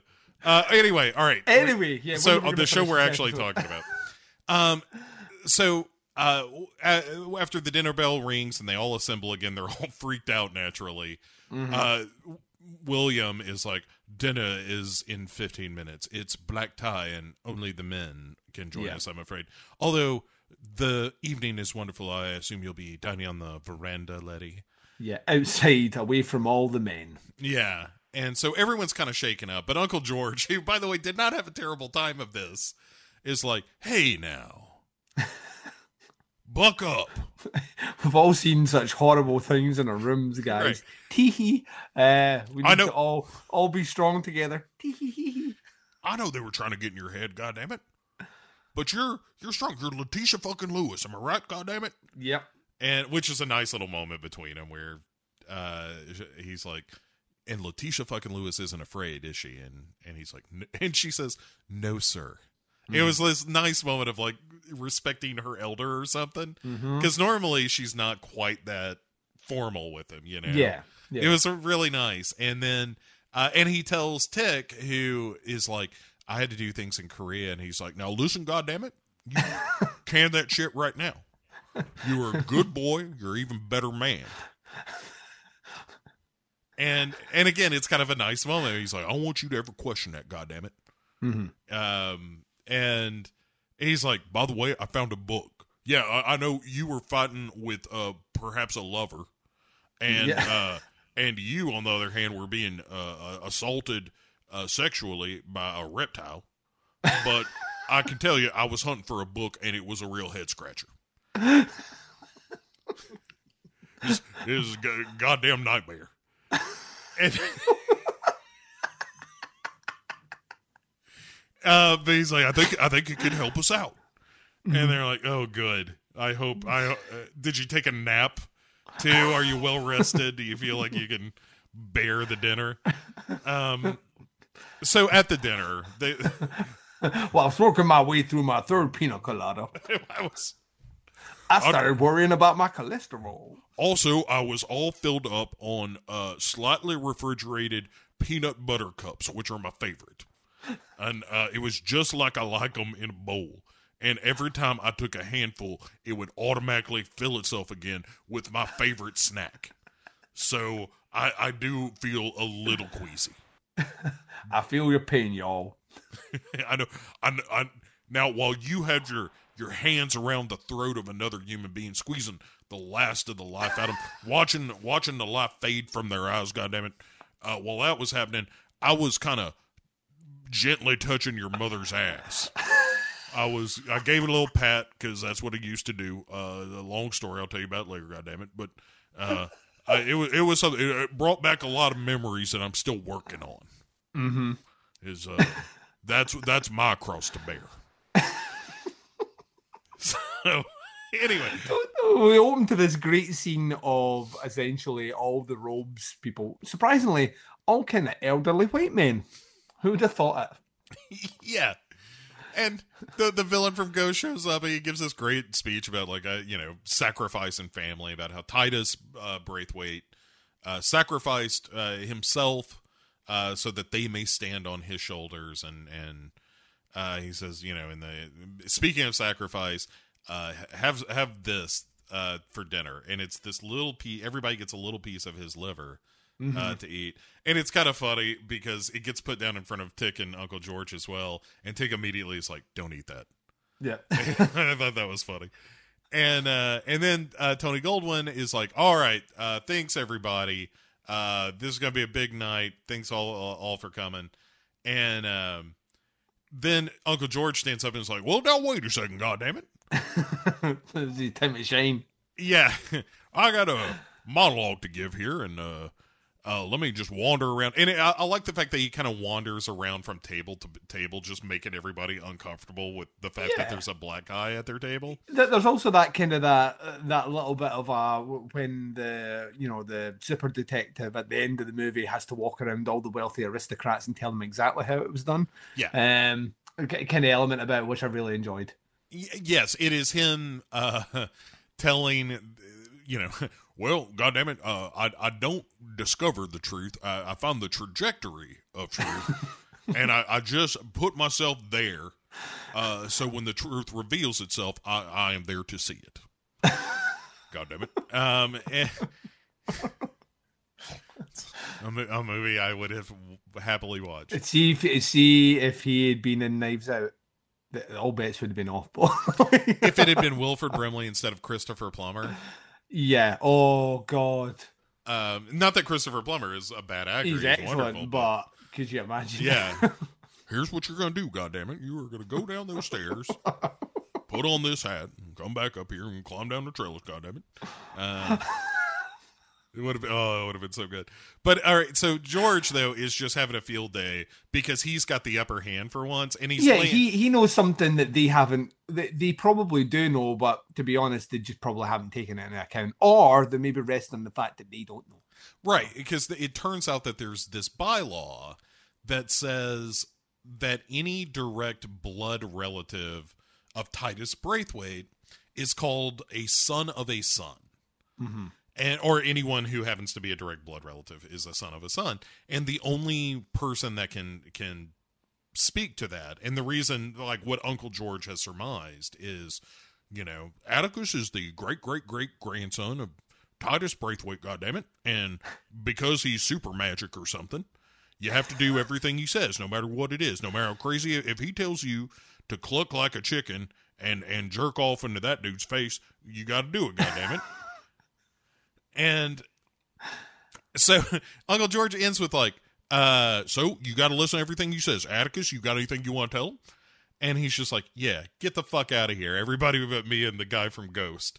Yeah, it does. It does the old day because like, this uh, kind of reenactment from from Silence. Like, go on now, go on now, and everyone's still looking at him. and He's like, come on, go on now, Yeah. because it takes him a bit of time to realize that the upper hand is is very much. Um, Were you doing- tech? Were you doing the Clarice Starling of Yeah, well, we, we, we've got 'cause from here? Yeah. Nope. Go on. I know your on. parents would would thank thank you if they if they could. Yeah, But go we- we've because they don't move straight away when Yeah. he says that. He says, "Get the fuck out of here," and they're all still staring. He's like, "I said, get the fuck out of here." Yeah. just in the back of my head, I just had, "Go on now." He said, "Bitches, fuck off." yeah, and of course the kind of look towards villain from Ghost realize that they had been bested, Bo, Right. um, and they they all get out and off they fuck. Yeah, and and so Tony Goldwyn actually has a really nice moment here where he's like, "Look, I'm not a zealot. Yeah, I believe in all that horseshit about uh, circumstance and and uh, tradition, in as much as they do, yeah, and no more." And uh, he's like, "You, you know, my my daughter Xtina thinks that you are valuable to us, hmm but don't mistake useful for indispensable." yeah, which I love. yeah, and and so off he fucks. yes, but And- because he wants to, not because they asked him to. Right. He should. Right. It's uh, like everybody's laying their dick on the table, and he's like, "Aha! I've got the biggest dick at all." Because if I don't, I, you're here as a essentially the magnifying glass through Mhm. which we are going to channel this sunlight to intensify it. Yeah, You are not. If we don't have you, the spell will go on. yeah, And so while uh, he says, "Look, I you know the last thing Tick says, the last thing I want is I want my father." And he- that's where Tony Goldwyn is like, "Go fuck yourself. I'm not giving you shit." Mhm. And but they George and Tick actually get away to this stone building. They sneak back into the village later uh, that night and find inside Montrose's flask. And Uncle George is like, "I know he's here. Goddamn it, he never goes anywhere without uh, lovely alcohol." And Meanwhile, right, and there's the redneck lady or redneck Karen shows up and is like, "Well, I knew you were too stupid." Yeah, she's like, well, well, well. Yeah. And you're like, oh my God, this redneck lady has a shotgun leveled at uh, our heroes. Mm-hmm. But in comes Leti to save the day, who smashes her in the face with a fucking shovel. Yeah, if you're gonna do it, do it right. right. And then one of my, like, on the second viewing, it became one of my favorite moments in the show where they go into this dungeon where they're like, oh, uh, Montrose must have been kept here, but he's gone. And they're like, fucking Count of Monte Cristo, hang on. and they find a rock where he has t- been tunneling his way out. Yeah, which is like at like the. he couldn't just wait to be rescued. Right. And so they track down this tunnel and are Mm-hmm. waiting outside with a car. And he comes out of the ground like fucking raising Arizona, where he's just like, ah! Comes out and like is looking up at the sky in triumph and stuff. And then looks around and there's George and Atticus. And he's like, the fuck are you guys doing here? And they're like, "Well, we're here to rescue you, goddamn it!" And and Atticus is like, "Yeah, you wrote me a letter," and he's like, "Boy, we haven't talked in five years. I would think you would understand that that letter was written under duress and would not get yourself in trouble, dummy." And they're just like, "Dude, would you just get in the car, you salty old motherfucker?" He's so salty. He- he's oh my god he's wonderful and um anyway they uh they take a stolen car while george lays down the, the plot that this whole cult like is looking for immortality and they burn down the first lodge trying to get it that's what burned down the manor the first time was this mm-hmm. spell to obtain immortality and as they're getting the fuck out of town they crash into a cabin in the woods barrier Yep, which will happen. They do exist, and when they do, you don't want to drive into them. No, your insurance will not cover that. It will not get force force majeure. so what does this cover? Does this cover like um you know puncture damage, engine damage? It does. Um, wh- why does it say it doesn't cover cabin in the woods barrier? Is that a...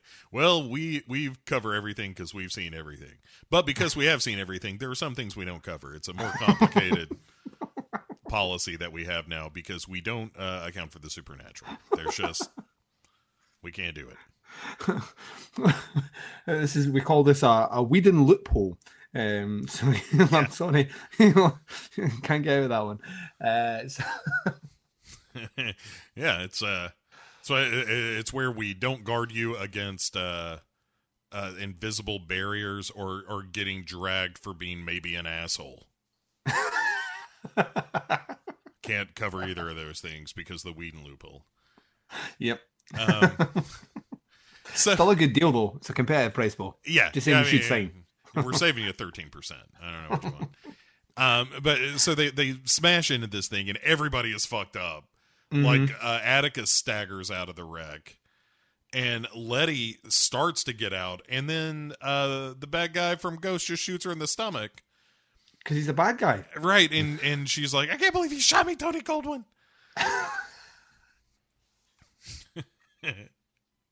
Say it with me. You're gonna be okay.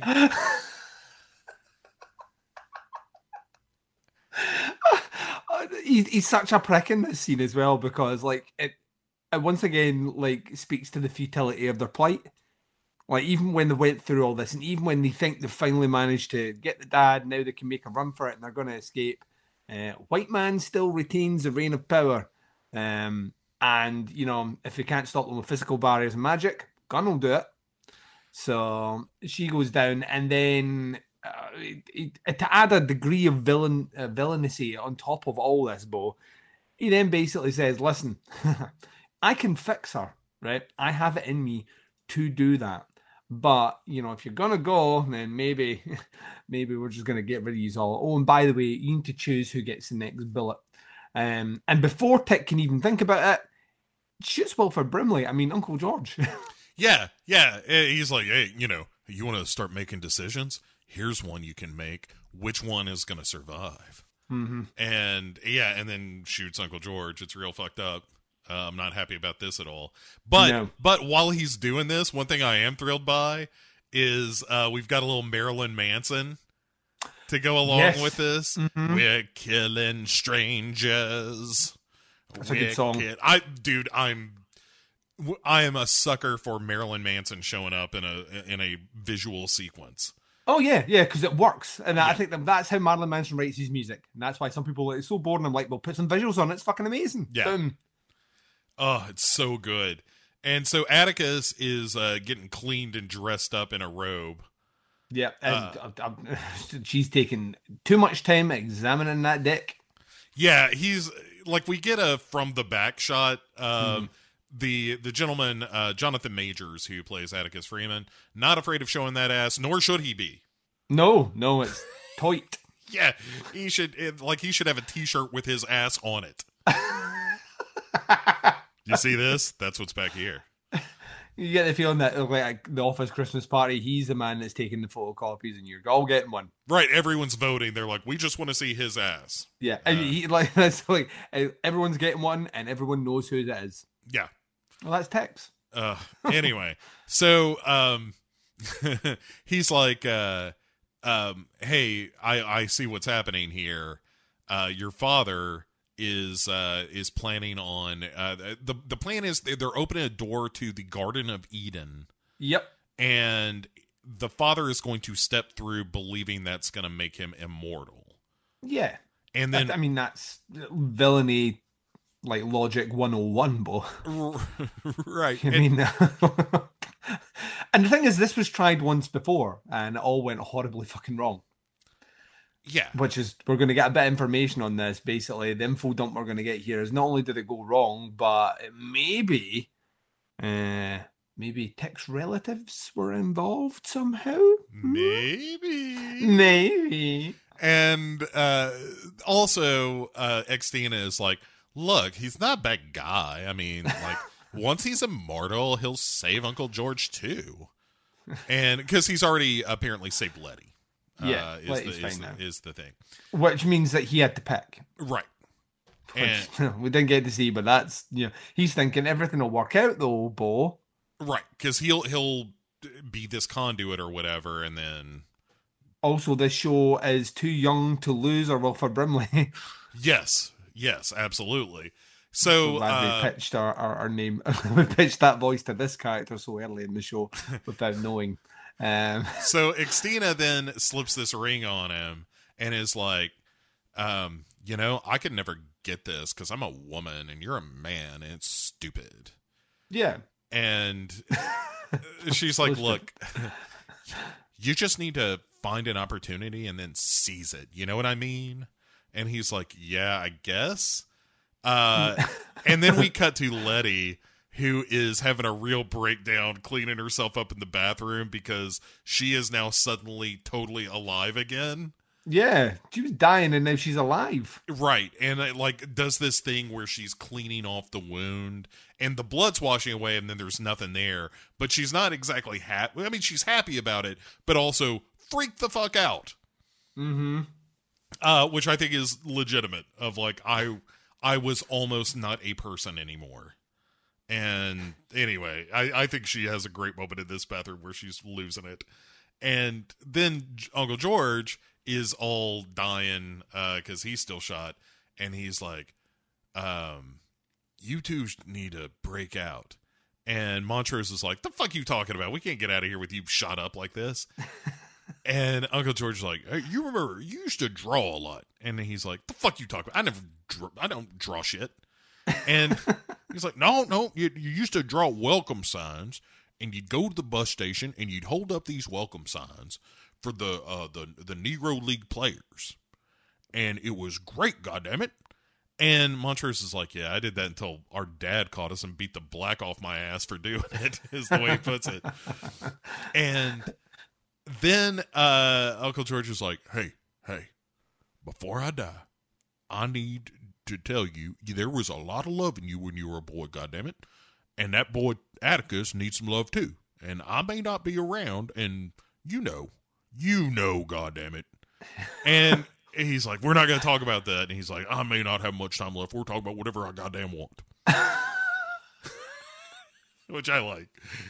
And then we cut away from this revelation that Uncle George is all but like that is totally my kid, uh, or could be. Like uh, we don't know the full details on this, but it's clear that Dora and George had an affair at some point, and and Atticus may very well be the product of that affair.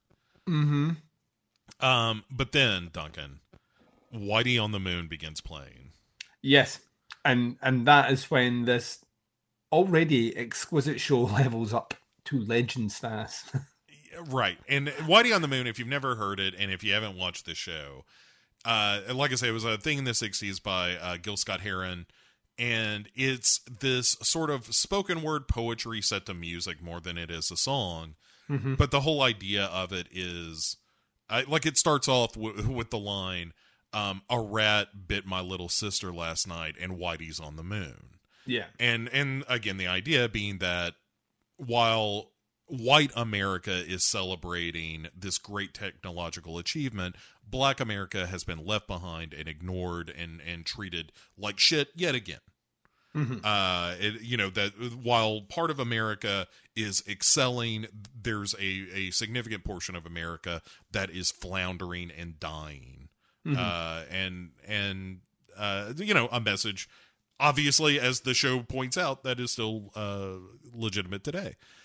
And and so there's chanting happening. I like the fact that this is like this whole supernatural sequence is set to this where uh as you're hearing this the cultists are chanting atticus starts glowing uh and then screaming. Tony goldwyn is walking around doing you know cult leader shit Yep. and and invocating and whatnot and then out of this ring comes this kind of black smoke and as he holds up his hand uh, in this portal that's opening, he sees this ancestor of his, Hannah.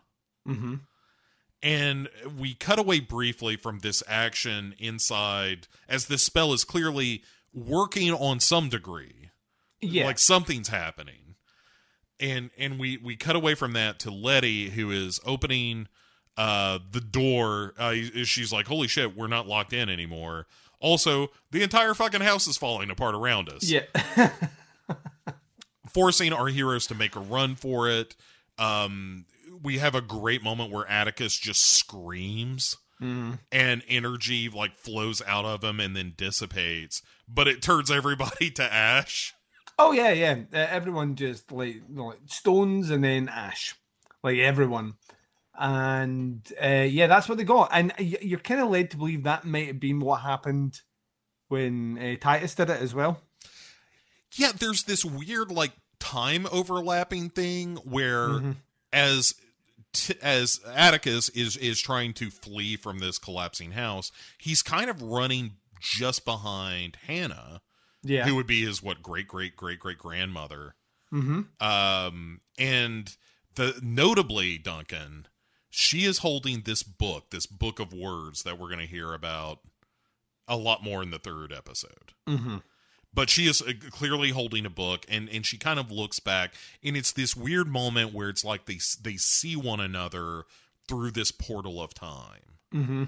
and then she's gone and it's just atticus kind of spilling out onto the lawn of this place as the whole fucking house just collapses from the inside yeah. yeah. oh dear, it's just funny because they all die.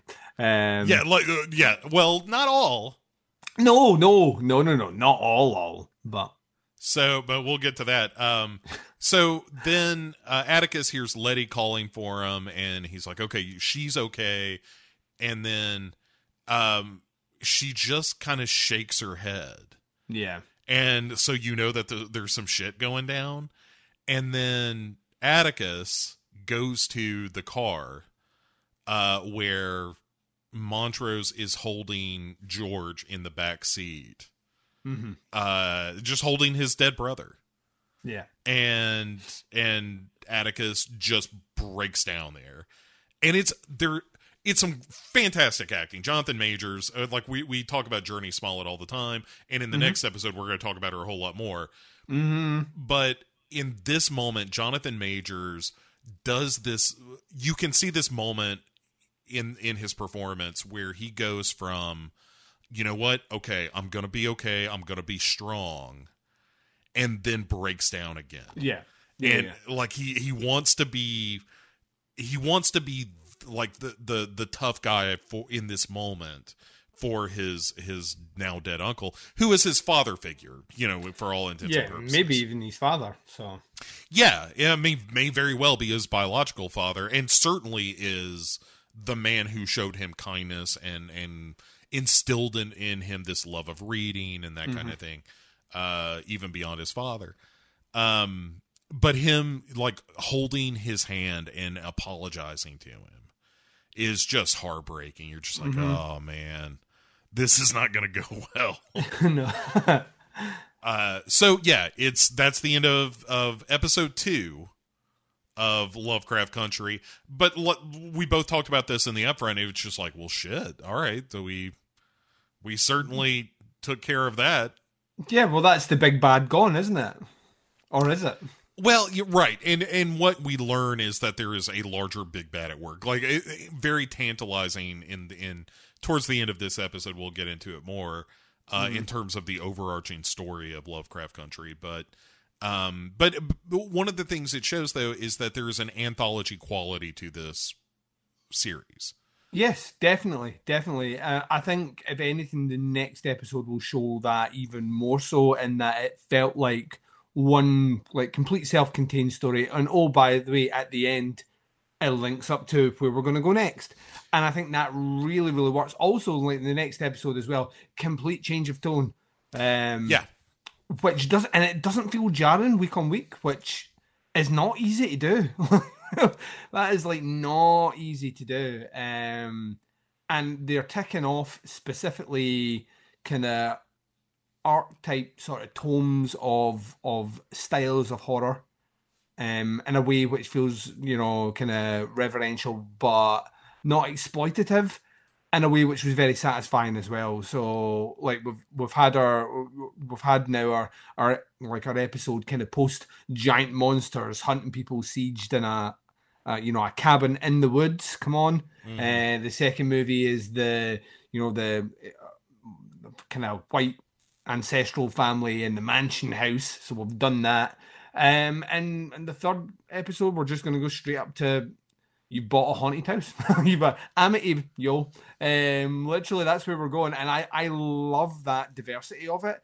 But the through line all all being about these characters, about kind of race politics and um, the, the social dynamics that come with that level of inequality and race based hate.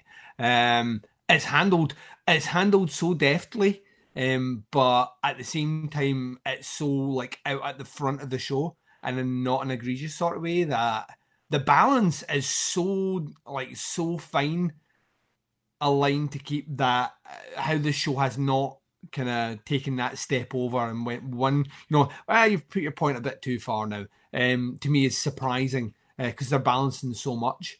Um but episode two was brilliant. It was absolutely brilliant. I loved it. And like you i was kind of like well let's see where we go. And then episode three comes along and uh yeah business is about to pick up Yeah, let's get into Holy Ghost here, which is the the third episode where it begins with uh this raucous kind of funeral ceremony mm-hmm. taking place in church um while Leti uh while people around her you know dance and scream and flail and and it's a very emotional but but like obviously and and expressively emotional congregation of people um celebrating and mourning Uncle George.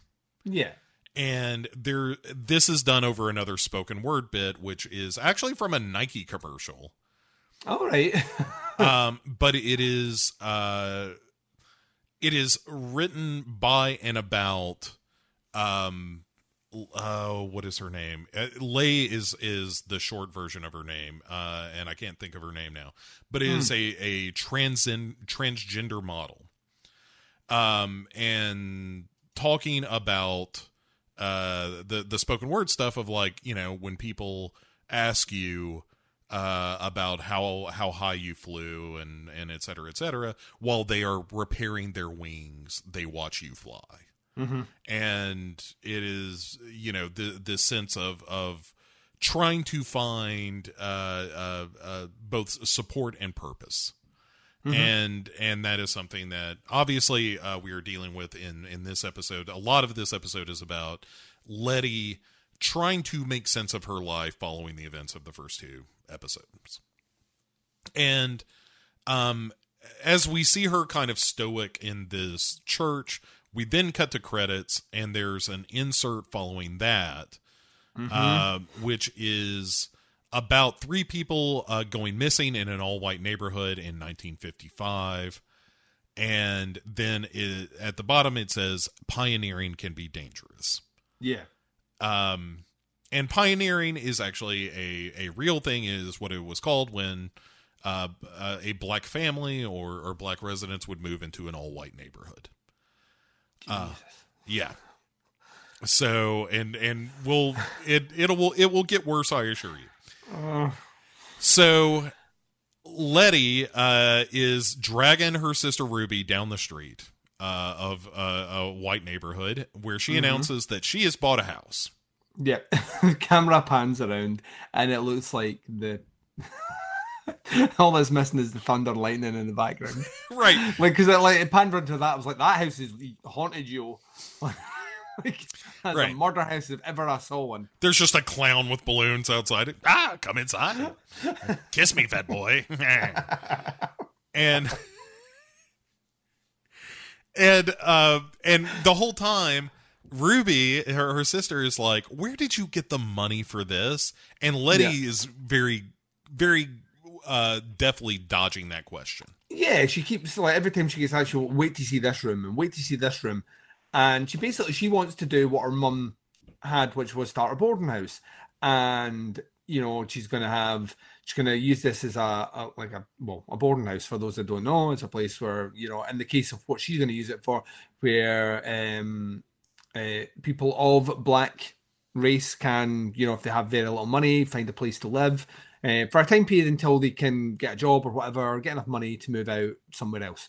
Uh, and so she's doing the good deed here. She just so happens to be bringing it to a white neighborhood, which, as you can imagine, Bo, in this time period, probably isn't going to sit well. Um, Right. and I, I love this because she's walking around and this is it's going to look so much better. And she's trying to talk Ruby into staying, and Ruby eventually acquiesces uh, by saying, "Listen, well, I get the big room. I get the biggest room here." And she's like, "Oh, great! Wait to see this. So this feature, wait to see it. This house has an elevator." Sister's like, "No, it doesn't." She's like, "Yep," and she opens the door, and there ain't no elevator there, Bo. No. Well, not at first.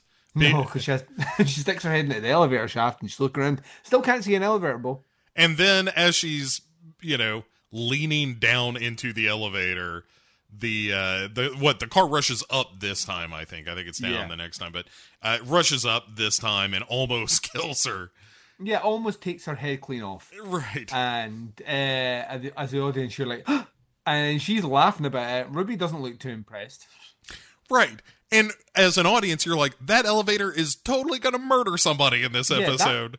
I, I- I'm no, I'm no, um, I'm no paranormal investigator, Bo, but that is the possessed elevator. like, right. elevators don't move like that. So, uh, so yeah, so we we establish okay, we're doing this boarding house that that uh, Leti has bought under mysterious circumstances. Ruby is going to move in, and they're kind of making a go of it. Mm-hmm. And then we cut over to Hippolyta doing her makeup while uh, at downstairs, Atticus and Dee are making breakfast in you know George and Hippolyta's house. yeah, she's doing her makeup while tearing pages out of her husband's favorite book, Dracula. Just yeah. tearing them out. Oh man, yeah, she is not pleased with her husband suddenly being dead, and probably is doing some blaming of him. Yeah, and guess what? The, the the young man that went away with him to protect him is just staying in their house, and he has kind of assumed the male role of the house. You know, he's he's making breakfast, he's getting everything set up, and uh, of course she comes down, and you can feel there's tension in there, Yeah, just a little bit. Of course, it, what's sad is Dee's set out, you know, a place for our our dad, and it suddenly twigs on her. Well, he's not here anymore. Uh, so she's getting that ready to clean up. And there's just like, I, I see it's really well done actually. There's just a series of kind of awkward junctures where both Tick and Hippolyta kind of, oh, no, you go, right. Because you get the feeling that uh, if you live with someone long, like, see my myself and my wife going to the kitchen in the morning, we know what the rhythm of that room is. I know when she's going for her tea. I know where to be. I know to take the. I instinctively will take milk out the fridge. Uh, you know, like, you know, it's left for her to make her tea while I'm making my coffee. Like you just get into that rhythm, if someone's not used to that rhythm Bo, you imagine you're just tripping over each other. Oh, excuse me, awkward. And that's kind of how it is. Like she goes round uh, to get herself a coffee. He's all no, he's going to get it, and then there's a lovely little detail which is explained later on that like these small things where she's he's put a cup. He's obviously washed the cup and he's put it like up. Um, or is it down? I can't remember now. Did No, it's uh he leaves them up because Yeah, he he's a leaves him face up. monster. Yeah, but he- well, I mean, they'll never dry that way. I mean, they'll dry on the outside, but there will be a small pool of water in the bottom. That's Yeah. not how you dry a cup. Not that I want to tell how to dry a cup, but that is not how you dry a cup. Right. And she's like, she she turns it over and all the rest. And to Tick's credit, um, he's maybe sensing some animosity, but it specifically comes out when there's a conversation about the publisher looking for the next print of this kind of the, the book that they do, which is a version of the Green Book. Um, and you know, Hippolyta's like, "Oh yeah, I still need to do it." And he's like, "I've taken care of it. I sent it away. I thought you wanted to go out in time." And she's like, "But I didn't proofread it." And he's like, "Well, I checked over and it'll be all right." And you can just see at that point she's like, "Oh, ah, yeah, you have to go. Ah, you have to go." Um, and to Tick's credit, he reads the room like I would read the room, and that maybe I've overstayed my welcome. And of course, Tick doesn't have that many places to go, so he's going to go with uh, go and see um, his dad, played by the Wires Omar, uh, because I mean, after going through the experience he went there, Bo, surely his dad is now clean, sober after you know after seeing the magic and shit.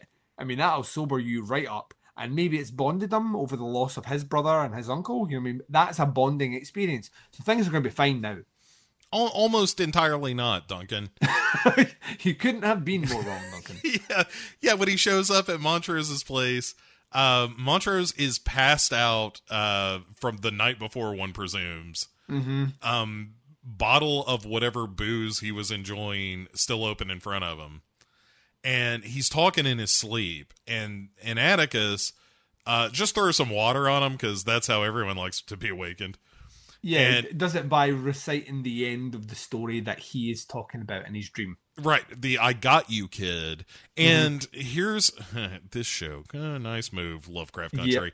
We learn here that this I got you kid story isn't about Jackie Robinson. It's that the way that Uncle George told the story was that when they were they were both uh he and Montrose, Uncle George and Montrose were in this riot. There was the they were about to get brained by some cop or something and uh, uh, another guy got the the cop like hit him with a, a a baseball bat and the way that uncle george always described it was like like jackie robinson he hit this guy with a baseball bat and said i got you kid and Which, once again, opening sequence of the first episode. right and i'm wondering that made me wonder like i wonder if there's a lot of shit that we're gonna look back on and be like oh there was so much more in that first I think so. yeah I, I think so. I think it was so densely packed with information that I think more stuff's going to spill out.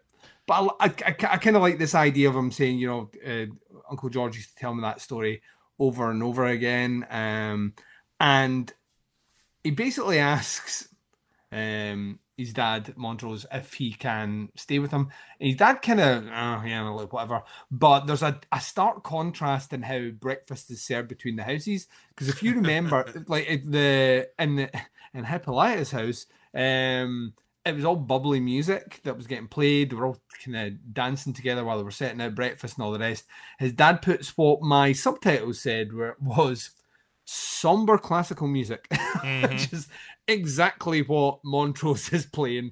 He sits down with a, a glass of OJ, um, an empty table, in a dimly lit house.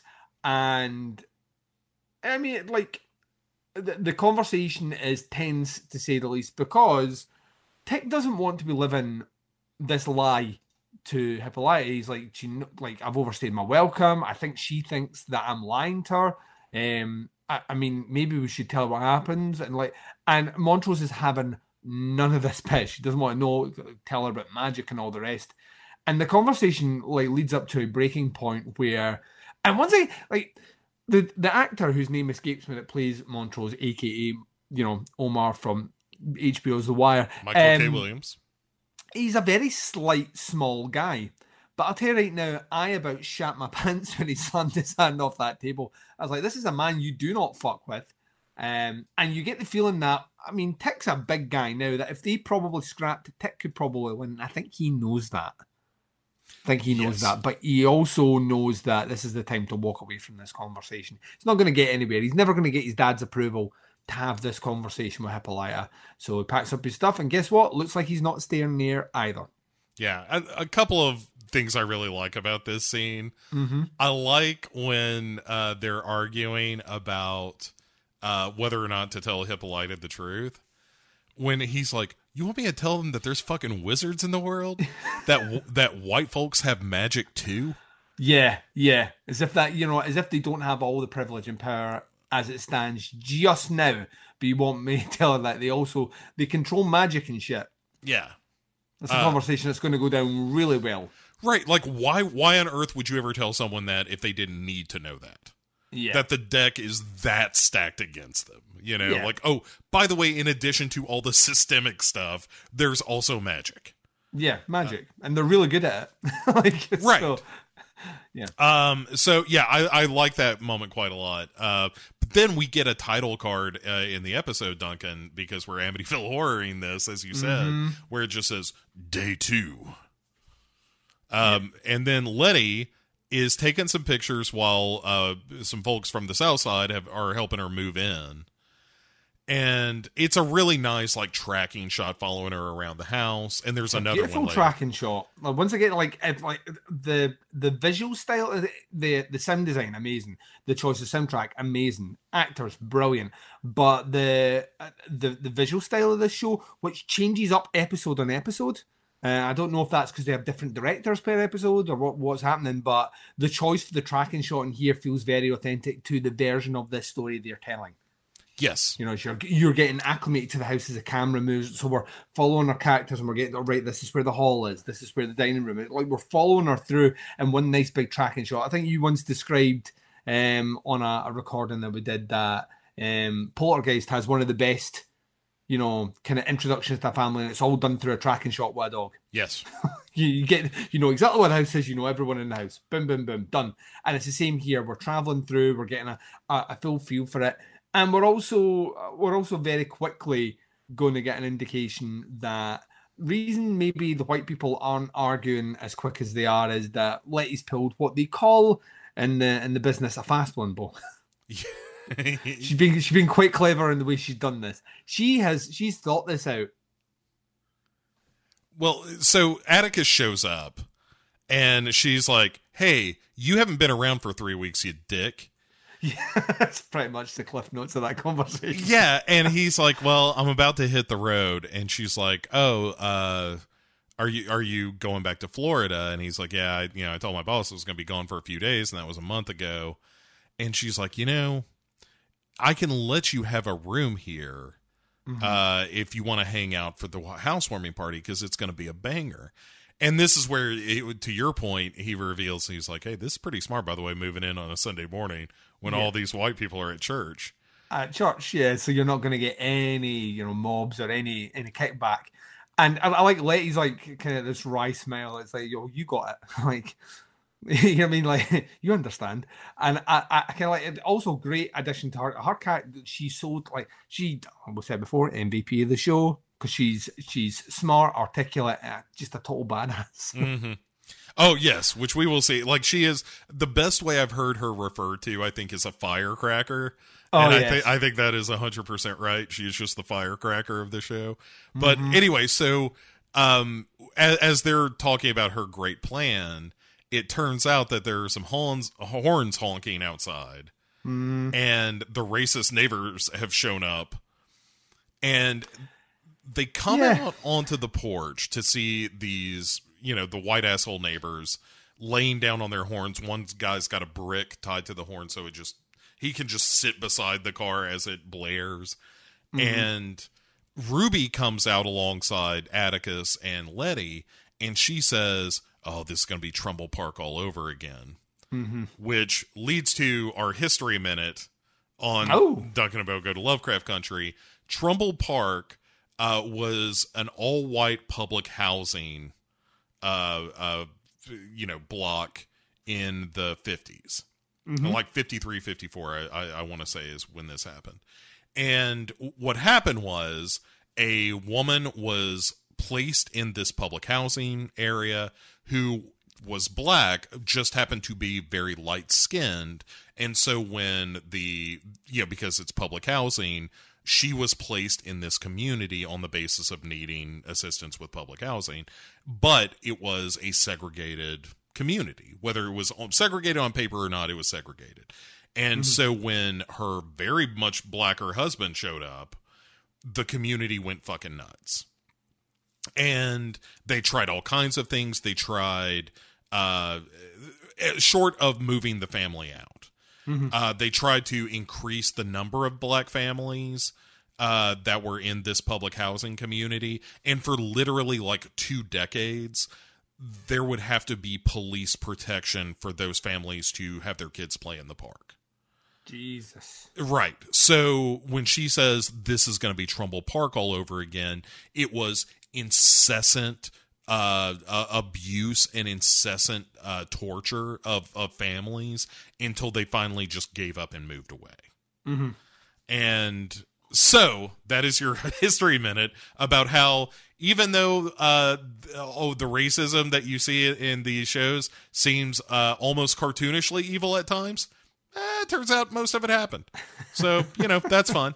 Um, but then we see some cro- uh, some cops cruise by, and here's something that was different. Like in in the Trumbull Park scenario, the cops were not saints or anything, but they did ultimately provide protection for the families. Yeah. Um, I mean, it shouldn't have been necessary, and the cops probably weren't great about it, but they did.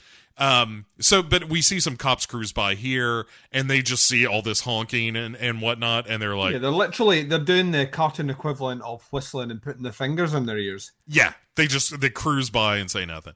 Uh, and then it's day 5 Mm-hmm. and so Leti is in bed, and uh, we see a ghost do the the sheet yanking trick. Mm-hmm. uh, where it's yanking it off her feet and whatnot. The old paranormal activity we call it in in in my neck of the woods. and then we see a ghost beside her bed, which looks like this this kind of, eh, you know, older black lady. Mm-hmm. And Leti uh, doesn't see her, uh, but then we see more of the ghost, and she's missing the bottom half of her face. And Yeah. And the visual effect, by the way, is fucking incredible. By the way, the visual effects just across this, apart from one scene, are incredible. Yeah, yeah, I, I I would agree with that. I think there's one scene I'm not crazy about, but um, at any rate, so uh, yeah, so then all of a sudden the sheets get yanked completely off of her, and the, but the ghost is gone, and Leti is awake now, and the radiator, uh, and I think this is the ghost. What we learn is that these ghosts are kind of helping Leti, and I think this was the ghost waking her up because of what was going on with the boiler. yes, it's exactly what it was. But and at first viewing, maybe we take it another way, which I kind of like that. Yes, Once again, that's a trope that's been used loads in haunted house movies. Um, but I didn't pick up on it straight away until about halfway through it, and then I was like, ah, aha. yeah, eureka! Um, you think you're so smart, Lovecraft Country. You ain't so smart. You ain't nothing. You ain't nothing. Dun, dun, dun, dun, dun. but yeah, like the the radiator um, busts, and she makes a, a beeline, I believe is what they say, uh, downstairs to the boiler. well, she's going to open the window, but as soon as she cracks it, the horns get louder. Yeah, And she goes, uh, Oh, you motherfuckers. Yeah. And closes the window. it's a great moment where she's like, God damn it, I'm just hot and I got to deal with your, your racist bullshit and be hot Mm-hmm. at the same time. And of course, so she runs downstairs, and she will have to like maintain a boiler, which once again trope in some haunted house movies. Wink, wink, nudge, nudge. Um, but yeah, so she has to go way down there and, and and take care of that. But yeah, like you say, meanwhile, we don't know how many. Well, we know they've been it's overnight in the house now, but those horns have been going all night, Bo. Yeah. All uh, they- Which at some point I'm starting to think that upsets the black people for sure, but doesn't that upset the white people as well? You you would think, yeah. But Isn't maybe like they're self-inflicted gun wound. Surely, don't make me shoot my foot. But- I will shoot my foot.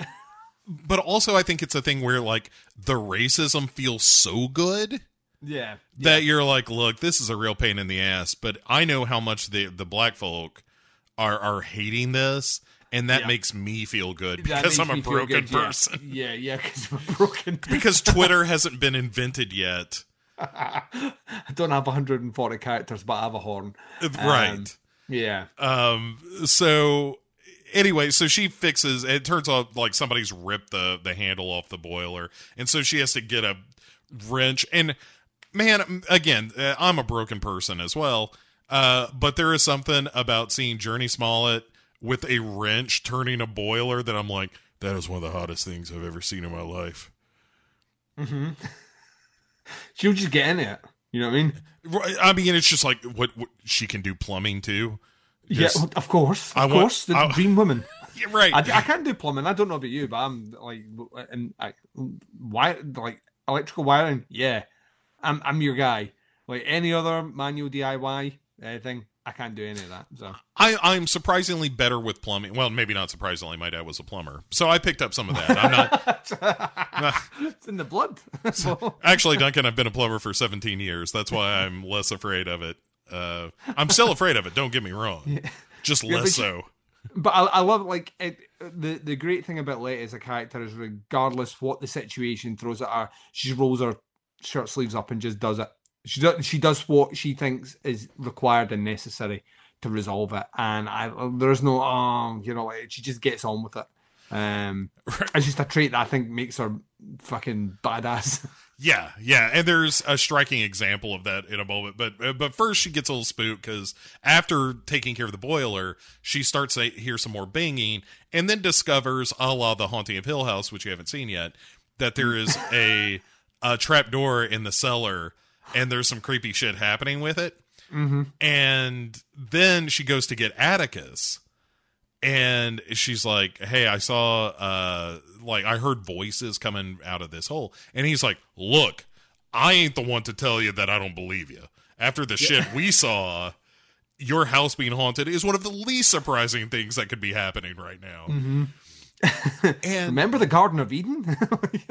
but and he's also like but we also haven't really dealt with this and it could be stress and but whatever it is like i'll help you deal with this yeah. And then she takes his hand, and Atticus, like a fucking fool, pulls his hand away, and Leti just gives a look away from him, like, motherfucker, like I'm giving you every signal that I'm I possess. You the keys to the kingdom, Mo. yeah. And, Kingdom of Leti. and Atticus is just like, this sure would make a good room for a dark room, lady. and she's like, Are, look, do you want to fuck or not? And he's like, you want access to my dark room? Come on, let's do this. Right. Well, if we're standing in it, I guess I do. Oh, and you're like, God damn it, Atticus. Read the room. Yeah, you you were doing so well. Like you picked up on all the subtle cues you, that Hippolyta was laying down, and you did the right thing there. And we're like, you know what? I'm overstepping some bounds before this gets like before anybody's feelings get hurt or before anyone gets angry. I'm going to say thank you for having me, and I'm leaving. Oh no, this one too. You were polite and courteous. right. then you come in here with your clumsy comments about dark rooms. It just one two, one two. Atticus, check out You Store It. Uh, anyway, um, so then we go to day eight after Atticus's genuine failing. Yeah, like fa- failure as a man. Right, it's one of those things. Of, like, God damn it, kid! You could you you know what you could do? The old Duncan and Bo standby. You Yeah. could be fucking. You could, you, well, if you could be, but I think, well, he should be. He should be fucking, as we have often Stress said. levels? But he Stress levels being as they are. not only should he have been, which is a constant rule, he could have been. He could have been. It was. It was. It was not just even like intimated in the conversation. It was there. She- there was a hand grab. That was Yes. in it. That was initiation hand grab. This is the the the formal introduction to the world of Leti's lady areas, and you you retracted your hand like a fool, and Yeah. then you made a, a banal comment about decor in a room. Yeah. Yeah. She drew first sexual blood Yes, with the hand grab. Mm. All you've got to do is nothing. yes. Just let it happen. Let Leti dictate the terms. dictate being the right word. Right. All you got to do is stand there. The gradual kiss is going to happen. And the next thing you know, you should be fucking. Yeah, Anyway, so we go to day eight. yeah. After the collective sound of me and Bo slapping the top of her head, going, "Oh no!" Right. What are you doing, man? Um, rock music is now being played at the house like it's, you know, the fucking Gaddafi's uh, castle. and it's, Yeah, like you can't hear the horns now. right. Love it. So it's the night of the house party, and Leti. It's another tracking shot because the this show is just showing off, where it's Leti roaming around with the pitcher, and now instead of people filling the the house with and carrying furniture and stuff, it's a bunch of people having parties uh, or, or having uh, a good time at the party. Leti's got a pitcher of whatever concoction they've made that's probably mostly paint thinner, and is is pouring glasses for everybody. And there's a great conversation that happens as she's passing through a room about Martin Luther King Jr. changing his name from Michael to Martin mm-hmm. and getting a black wife, and mm-hmm. which is all true. And it's one of those things where it's like, oh yeah, and and Leti has a great line where she's like, well, just because he likes a uh, a white lady doesn't mean he can't help our people, I guess. And then mm. just kind of laughs, and then she uh, cruises through like the living room where Ruby is singing. And Ruby, who by the way, uh, played by Wunmi Musaku, Mosaku, Mhm. uh, Ni- Nigerian actress originally, um, is fucking great in this episode. She's got a real showcase of a scene coming up, but Yeah. but I really like it when she sings too because she's a really good singer, and Mm-hmm. she she looks like like the this sounds terrible, but she looks the part of like that forties. Uh, like I- I'm on the stage grinning as I sing kind of character of like we're having a neighborhood party Mm-hmm. and nobody's gonna see the party outside of this, but we are going to have a fucking blast. Yeah, yeah. And She's brilliant. She's really like the specifically in the scene we're coming up to. She's like, was it a, a- a great casting? like, I, I Yeah. like, I, I, like, I- I feel like we, we point these things in, but we just have to. We just have to uh, assume from now on that any casting choices made by Lovecraft Country are going to be exceptional. So, and that's Yeah. it. no, it, it's a real something. Uh, so th- as Leti winds around the house, uh, and it is a banger of a party, uh, one that I would have no place in. Um, Yeah, no, yeah, I would be not not well. because of a racial thing, just because I don't know have a, how to have a good time like this.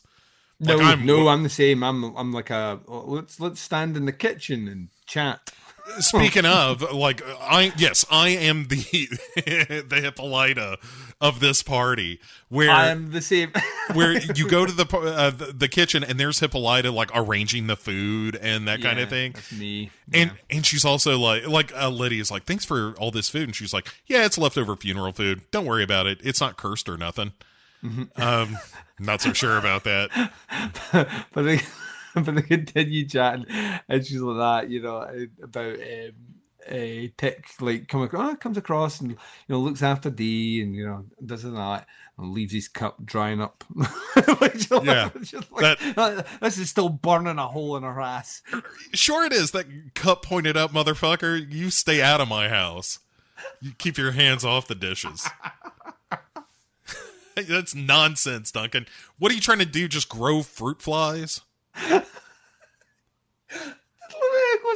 That's where she goes to the conversation. Yeah. And then she's like, she's like, oh, it's nothing, it's nothing. And I'm like, clearly it's something I happened fucking eight days ago and you're still on about it. Right. It well, and and Leti is asking her like, is it weird because he's like trying to assume George's place, hmm. and there's some of that I think, but I also think it's just like, hey, you know, I don't need you to be that person. Yeah, I also think like as we find out later on, Hippolyta is she's she's a smart woman and she's picking up there's something in the body language or you know the way he doesn't make eye contact when she's speaking him about Uncle George's death.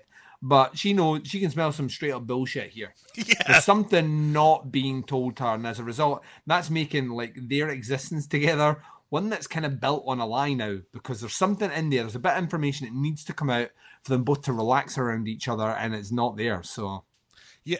All right. So we'll, come back to Hippolyta in just a second because 1st Mm-hmm. we cut down the basement where the kids are playing with a Ouija board in the basement of the haunted house, which is Which I mean, never a great idea, but I love it when it appears in the show. yep. This was one of the few scenes that with a Ouija board where my eyes didn't roll back and come back again. like most of the time when a Ouija board appears in anything horror related, I go, "Oh, here we go," and the eyes roll back, and they'll stay back there for the full time of that scene and then come forward. But it's it's done in a it's done in a really cruel sort of way. Um, but once again, through knowing how this show ends, uh, this episode ends, actually maybe not so cruel after all. Right. It's just perceived that way at this point. So, so it's they're they get around to they're asking some silly questions and getting some answers, and then they ask who who it is that they're talking to, and it spells out the name George. And Dee Mm-hmm. Rightful, cool guys. yeah, Dee Yeah. just flips the board. and Is like fuck you assholes, and I mean I'm not far off. She I think she Mm-hmm. does call them assholes, um, and which it, totally accurate. And then uh, we cut upstairs to Hippolyta, who is kind of hearing something from the attic, maybe.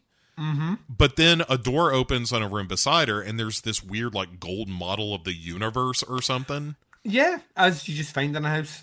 Right, and she goes to it, but there's a, a like there's a moment where she seems to recognize what this is, or at mm. least be amazed by it or something. Like there's some Well, she's got a telescope in her house. Remember? Well, this is true, but I, I'm wondering, like, well, then what? What is all this about? I think we're going to find out. I think we will. so Atticus, We see you, Lovecraft Country. We know what you're doing, planting seeds. yep. So Atticus arrives at this party in uniform. While one of my favorite songs from like this era, like a great jazz song uh, called "Is You Is" or "Is You Ain't My Baby," Yep, love it. it's a great tune. And as that's playing, uh, Atticus goes to a doorway where he can look in, and there's uh, Leti dancing with a dude. Yeah, And this guy, sexy dancing. kind of sexy dancing, and this guy, I think it's the same dude he ran into at the bar in the first I think, episode, I think you're right. Yeah, yeah. uh, who's just like, "Say, baby." Uh, hey, you doing anything with that girl? Because if not, I'm gonna holler at her. And he's like, you know, we fooled around when we were in school, and I'm feeling a little nostalgic tonight. And Atticus is like, "The fuck you just say?" And he's like, "Oh, it's cool, baby. But if that is yours, then you need to let somebody know." And Leti is giving him this look like, "Uh huh, you know what you could have, but baby, if you're gonna j- talk about dark rooms." then this dude's gonna get some action. And Leti then goes to the bathroom. And for a second, we see a ghost in a mirror behind her because, again, the, like every now and again, the, the the show will just remind you, like, "Hey, by the way, ghosts." Yeah, But which I which is ironic because the villain of that movie died in the previous episode. I, that is interesting. You should put that on IMDb. I'm going to do that. Conspiracy. Uh, IMDb fact. Uh huh. One of the trivia and. Tony Goldwyn was in the movie Ghost in the third episode of Lovecraft Country. There were ghosts. Yeah, it's like literally going to have like no likes and 145,000 thumbs down. Right. thumbs down fact. How is yeah? How is this? You like this is one of those Billy Madison. I'm now dumber for having heard that conversations where I not only have I not learned anything, I've somehow decreased my knowledge of film. Yeah. But uh, so, Duncan, look clearly the makers of Lovecraft Country listen to us uh, from the past Of course. Well, the- I, yeah. using using time machine technology. they built a portal to the Garden of Eden that made them immortals, and then they built a time machine in the future, having listened to this episode to go back to the past to give Eddard notes. Right. This uh, this uses Bill and Ted time travel logic. Wh- Which, by the way, that new one totally fine. Totally have fine. not seen, is not out here yet. We'll eventually see. Kind of looking forward to it. Don't expect much, and if it delivers not much, then I'll be happy. It I I would argue it delivers more than not much. It is it is a perfectly fine another Bill and Ted movie. That's fine with me then. Yeah, that, that- I was totally. Uh, that's how I felt about it. There is, there there is a character in it that rivals Death from Bogus Journey in terms of being like surprisingly funny.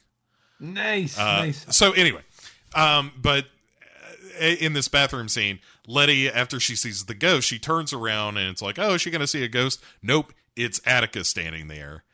And then he shuts the door, and these two gorgeous creatures finally fuck for us. Dance puppets. Um, Yep. and it is glorious. Yep, it's it's hot, it's heavy, it's in the bathroom, and there's a lot of like a lot of the attention instantly leaves the room, but then returns very very quickly. Right. You get a kind of post-coital, like literally three seconds of, ah, and then we are given a scene of Leti finding that she's bleeding. Um, but like the the comment she makes is shit. Uh, sorry, I didn't realize you know it was my time of the month. My monthly like- started, yeah. Yeah, and he's like, "Oh, I'm really, really sorry." And she's like, "Don't be." And then it's all awkward. And she's like, "I'll see you downstairs." And he's like, "Well, you know, okay then, maybe." And she's like, "Okay." And then when we see Leia again, she's sitting downstairs, kind of like uh, emotionally stunted. Um, and things are like at peak levels of awkwardness. And then, Bo, we hear a bit of a ruckus. Um, and the camera pans around, and guess what's on the garden? Guess what's in that garden? Oh, there, there's a cross burning on the lawn, Duncan. a giant and a white man running away. Yeah. And Ruby immediately is like, Where are the kids? We need to get the guns out of this house. And because the cops are coming. But Leti, at this point, who has just finished crying after Atticus bailed on her after weirdly uh, reacting strangely to having blood on his dick. Yeah, because that's one of those things. I don't know. It's just never bothered me. I'm like, I don't care if you're on your period or not. If you know, sometimes you fuck on a period. Sometimes it happens, uh, and it ain't a thing. And especially, especially if he's fucking Leti. yeah, Like, just uh, you know, as you described, a complete badass of a character. He should be like, I don't look. You want me to go down on you while you're on the monthlies? We'll do whatever. I'll eat your ass. I'll eat every, every goddamn thing.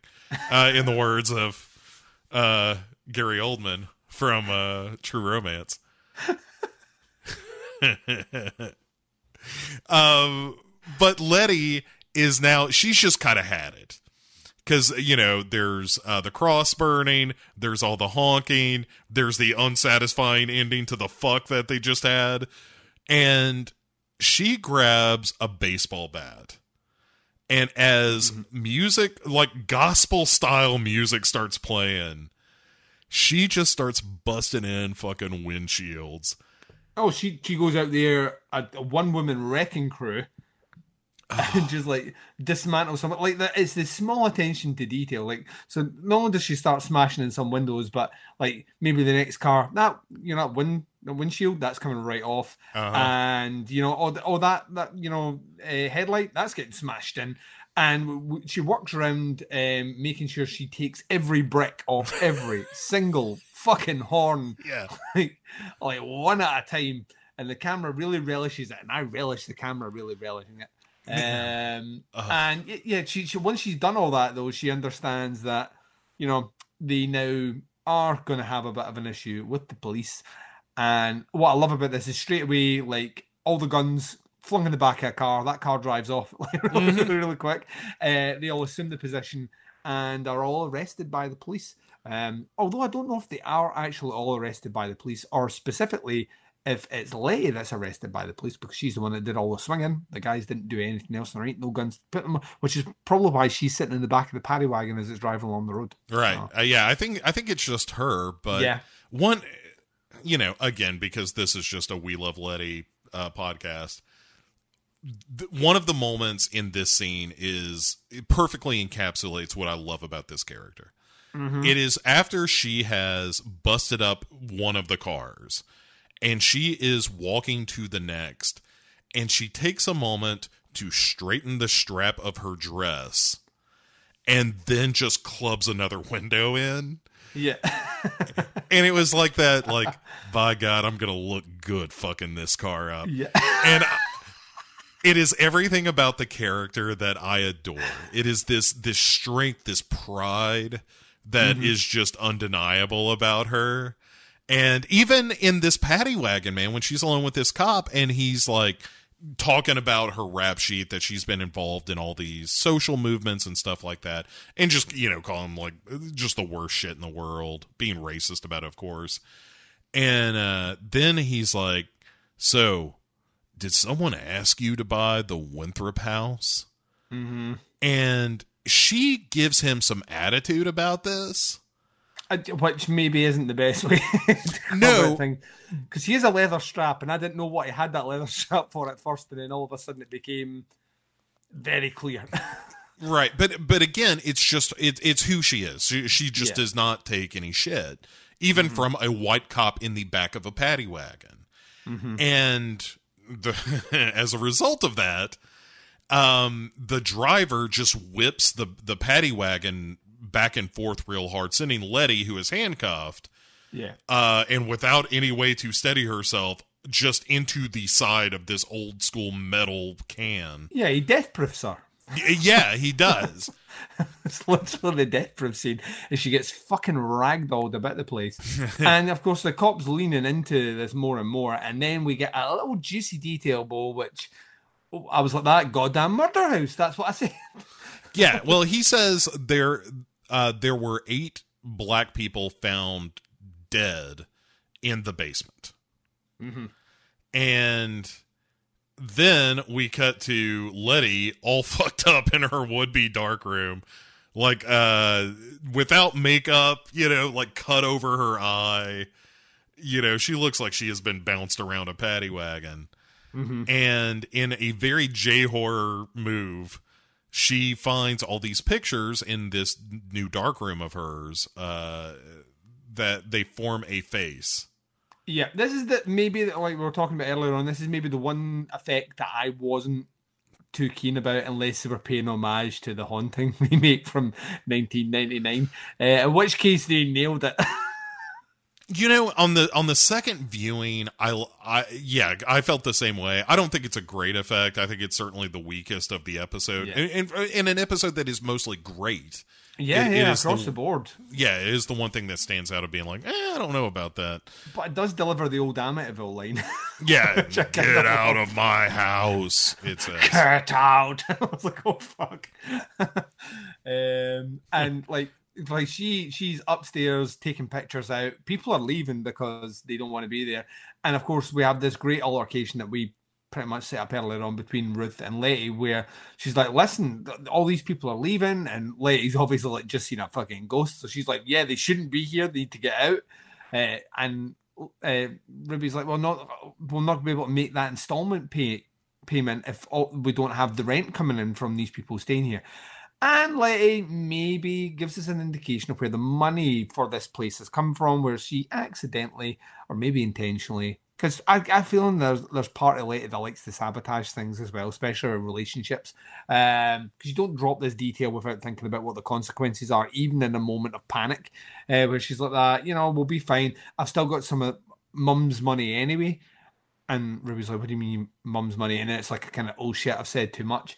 And we basically get a bit of detail here that the mother left a sum of money in her will that she was contacted about um, to not the brother, not the, you know, not the, not Ruby, the older sister, but left it all to Leti.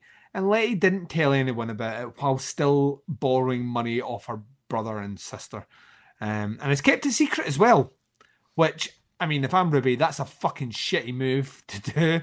It's a really shitty move to do, especially when you're all moving in together and you've been asked three times where that money's come from. You could then say, "Listen, I got this inheritance money. This is this is our future. This is our. We're going to make something of it. Do our mother proud or whatever. You do it then. You know, like use basically what the you know, like kind of the, the premise that she's which I think was in the best of intentions to get her sister to, to come in with her, but once again under this our sister already has trust issues with her, and this has not done anything to alleviate it. But if you're me and you, Bo, we're like that. This seems a bit suspect because Ruby's like that. Mum didn't have any money. Like, right. like she had nothing. And like, it's like, no, no, no. It turns out she did, and she left it all on me, and it was enough to buy this house. And we're like, uh, really? And I'm thinking shenanigans, Bo. Yeah, I mean, it's one that I would call shenanigans on as well. More so if it didn't implicate Leti quite so much. Like, I'm more inclined to believe it because it, it does make her look so bad. Um, and and Ruby has some great hits here where she's like, you know, I sent you money all the time, thinking that it, she says, I thought you were a fuck up, Yeah. but you're just fucked up, yeah. and it's it's a heavy hitter, man. Man, Ruby. That's a, that's what you call a good put down. Yeah. Because Ruby's like the thing to do would have been to like uh what's her Maurice is their brother. Yeah. uh she was like why didn't you immediately just let us know when, when we split the money three ways if you really wanted us to feel like we were included in that and anyway she has no leti has no answers and ruby fucking leaves Yep, she's having none of it. She fucks off, and now Leti is about to go. Well, can we say it like full? she's doing what we, she has no microfiche. There is no library here, but she does have some paper, a notepad, and a pencil, and she's going to get to that. But uh, we're going to have an altercation between Hippolyta and uh, our buddy Montrose. Um, where like Montrose bumps into Hippolyta, she's taking drinking on the sidewalk duncan he's well, let's be you know, fair I- he, he's out doing what Montrose does. He's partaking in a bit of fresh air and maybe a small snifter of alcohol if it was available. little nip of the um, dog yeah Yeah, and uh, of course Hippolyta's carrying these brown paper bags full of her shopping, and um, he's like, "No, no, let me help you." And he comes in, of course, he spills some stuff, and they're sitting there, and of course, one of the things that falls out of the bag that Montrose dropped is an is a copy of Dracula, and we have this. Oh, this is you know George's favorite book. She says, "Yeah, I spilt some coffee." And she's looking at the camera, going, "The audience knows that's a lie." I spilt some co- coffee on this book, and he's like, "All right." And then there's an awkward silence, and then Hippolyta just comes out with it, uh, which I kind of once again love the characters in here. Like there's a, degree of bullshit they're not prepared to take or tolerate. And she says, "Listen, how is it whenever I speak to Tic about? Well, I saw the you know where the gunshot was, and I don't want to know what you did to those sheriff and his men. I don't want to know it." And you did what you had to do, and that's fine. But how come every time I look at him, I feel like he's hiding something from me? Yeah, like he's not telling me the truth. And um, I'm just going to say Montrose does not play this scene off well. Plays it off KG. like, would I lie? His eyes rolling in his head. It's Eh, like, yeah it's just like what did i tell you oh well then that yeah. and uh, well, we know that this is going to come back. Like, there's got there's going to be a reckoning somewhere down the line here where she's going to get get told and shit's going to go south. Yeah. Um, the the other shoe that hasn't dropped again, uh, that will at some point, I think, is the fact that Dee seems to know where shit is. yes. Yeah. Yeah. Yeah. yeah. Oh, I I I never thought of that. Um, so I, I think it's going to be a real family affair at some Yeah. point. But uh, so then, Duncan, let's go to day ten, the the final day of our haunting. mhm. Um, so Leti has been had her sheets pulled off. She's been told to to get out of, of, of some dude's house. Uh, she has had spooky guys in mirrors. Um, but but it all comes down to this, where uh, we find her first at a bar where, like you said, she's kind of doing research. Yeah, I love house? this scene as well because she's she's like she's just writing word frantically writing words, and Tic comes in and sees her, and he's like, "What are you doing?" She's like, "My house is haunted." like, I yeah, I like that, and I also like the fact that his response to that yeah, this I, I love this. Yeah, is like, all right. Walk me through it. yeah, walk me through it, and sits down, and it's no no judgment, no like because he's done that before already, and we've been through some shit, and she's still saying that, and she starts to talk him through everything, and I'm like that. Oh, why won't you just be a, a, a couple? Yeah, Why you, can't you be George and Hippolyta? yeah. what are don't Sam and Diane me on this? Yeah. I need I need you two together.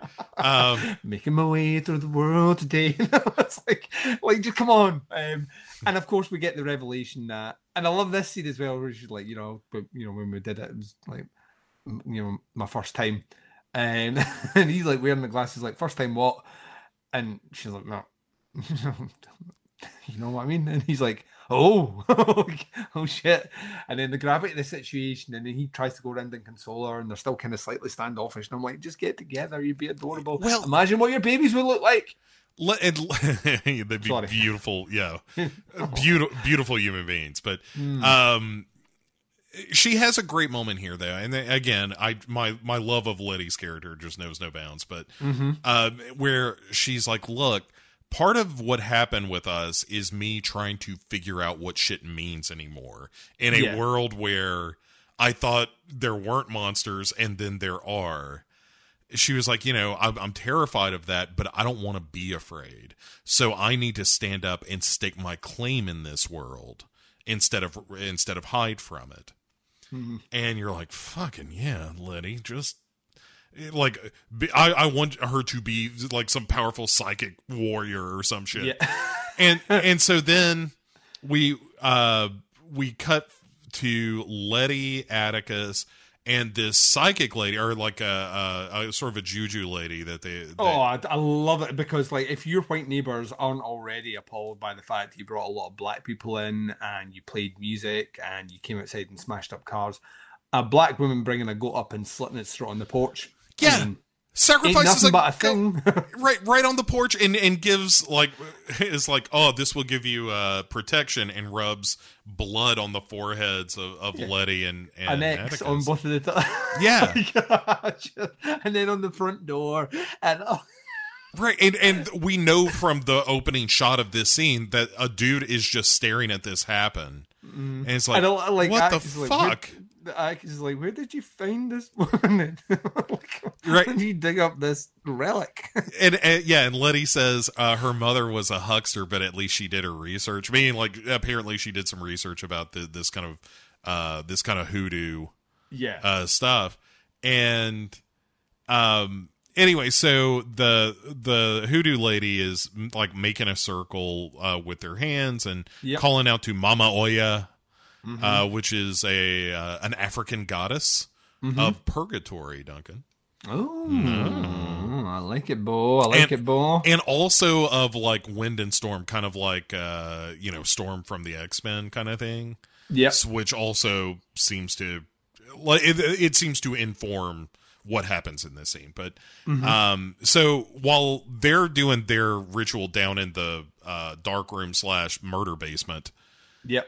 Um some some white guy neighbors have snuck in and are up to Yeah, white racists be doing white racist things. Right, sneaking in, getting up to no good hijinks, and as two of them go off in one direction, they, this is where they're confronted by the ghost that you mentioned Oh, earlier. Fucking like this is the, one of these moments where you think you've seen everything in cinema or in TV, and then you see something that actually makes you go, "That's fucked up." like, like, caught me by surprise because the, the this kind of Frankenstein creation of a kind of giant basketball players in full basketball gear, but with the head of a baby. yeah, and these kind of big hands, and Mm-hmm. like the all the ghosts have like weird proportions to some degree. Yeah. and it it's really again you know I, I watched these episodes a couple of times to do notes and also just to kind of drink them in. And watching it the second time this starting from this moment in the show it is a fucking funhouse ride to Oh, the yeah. end. It is so good. Uh, but yeah the, the the ghost is super creepy and forces him back into this radiator that bakes them alive or whatever and yeah. Also, you like because we, we did skirt over the scene because we were talking about the fuck dynamic um, of it. It's revealed that uh, you know this white guy, scientist, quote unquote scientist, had bought the house and he was conducting human experimentation on. Um, well, let's be honest, black people, uh, and that was the bodies that were found in the house. Probably the spirits that we've seen. This is why they've got the Creole lady in. And you're assuming the human experiments might be Frankenstein type experiments. maybe so i mean and and it's also revealed in that that this uh this scientist who lived in the house and was you know using black people from the south side as as test subjects um knew the guy from ghost Yes. so that there's a connection there as well uh with the sons of adam or whatever and Also, my connection to using the ghost reference uh, earlier on from IMDb. So suck it. Can Yeah. Come up. That's right. um, if you look at the IMDb trivia, uh, you you have to scroll down some, but you're going to find that on. Yeah, the uh, thumbs are just uh, as we talk, Bo. The thumbs are switching from down to up, down to up. Right. It's like a minor miracle. Everyone comes around to it. You know, like, you know what? That was a good bit of trivia across the world as people realize, have second thoughts about the guy from Ghost in Lovecraft Country. It's, the end of Independence Day. It's like let's send out the good word, and people on Morse code and their friends just now telling them to change the thumbs to Right. thumbs up. God gave rock and roll to ya. Oh Uh. my god, the Americans have solved it by Jove. Yeah. When this will, is how we talk in 1996. Tally ho. when will the Americans give us a solution? Fucking hate that movie. Oh, I, I, hate so. I I love it because it is so s- stupid. It is like it is a truly dumb movie, but in a way that that does my heart good. Anyway, we're not here to talk about that. Um, so uh, as the baby head ghost murders those guys, Yeah, the, another is going, you know what? I'm just going to check what's up with this elevator. man, he leans over into it and it whisks down in a way that just knocks him back, and the camera really lingers. Yeah, on the decapitated body. Yeah, and just squirting blood out. It's a real. and it's a it's a fucking great effect. It's Like- it's I loved it.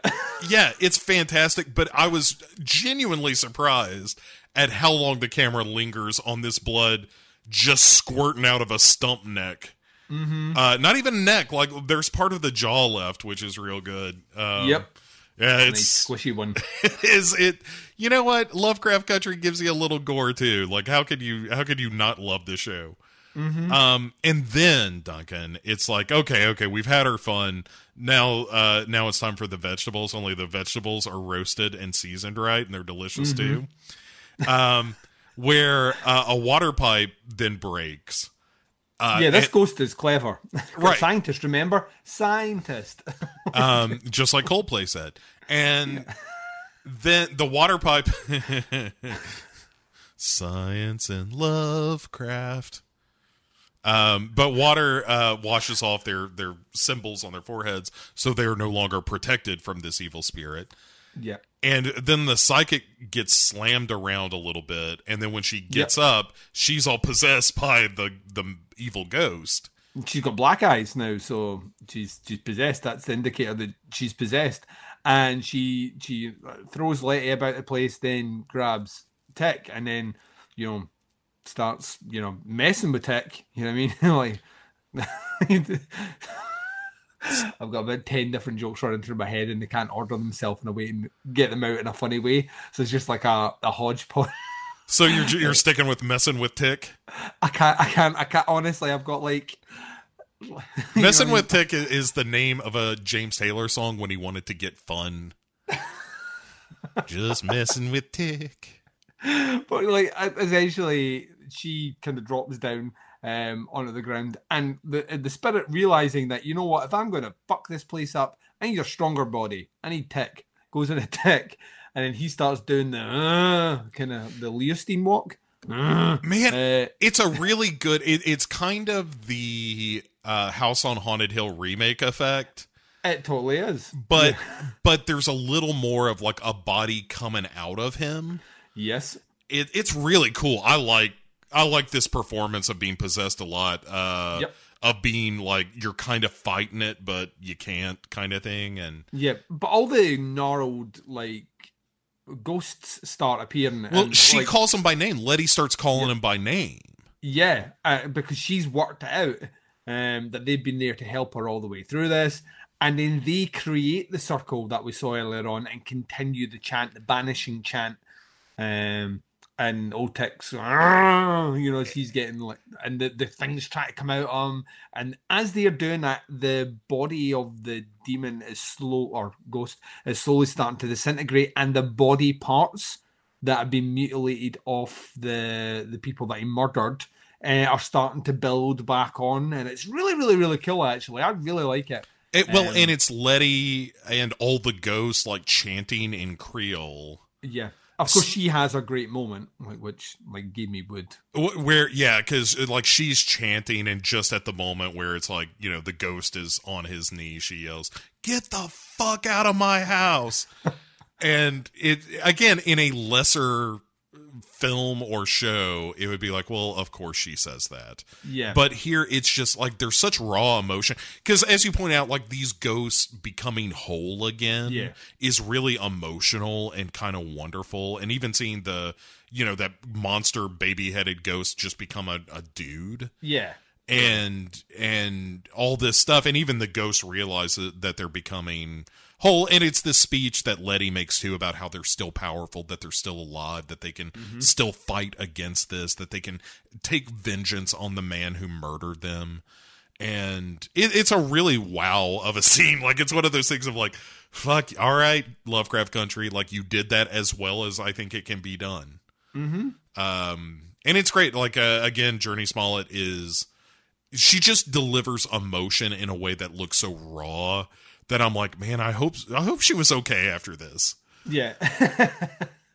she seems like really just like both energized and spent in equal measure and yeah. Performances like that take a toll. But, you know I mean? yeah it's a real something man and then we have our kind of wrap up moment uh a little epilogue on yeah, she's been episode. interviewed by a black reporter for the fact that she's done this incredible thing, setting up this boarding house for for people that can't afford their own place, and what she's done to the community, and what what the idea was behind it, and uh, and all the rest.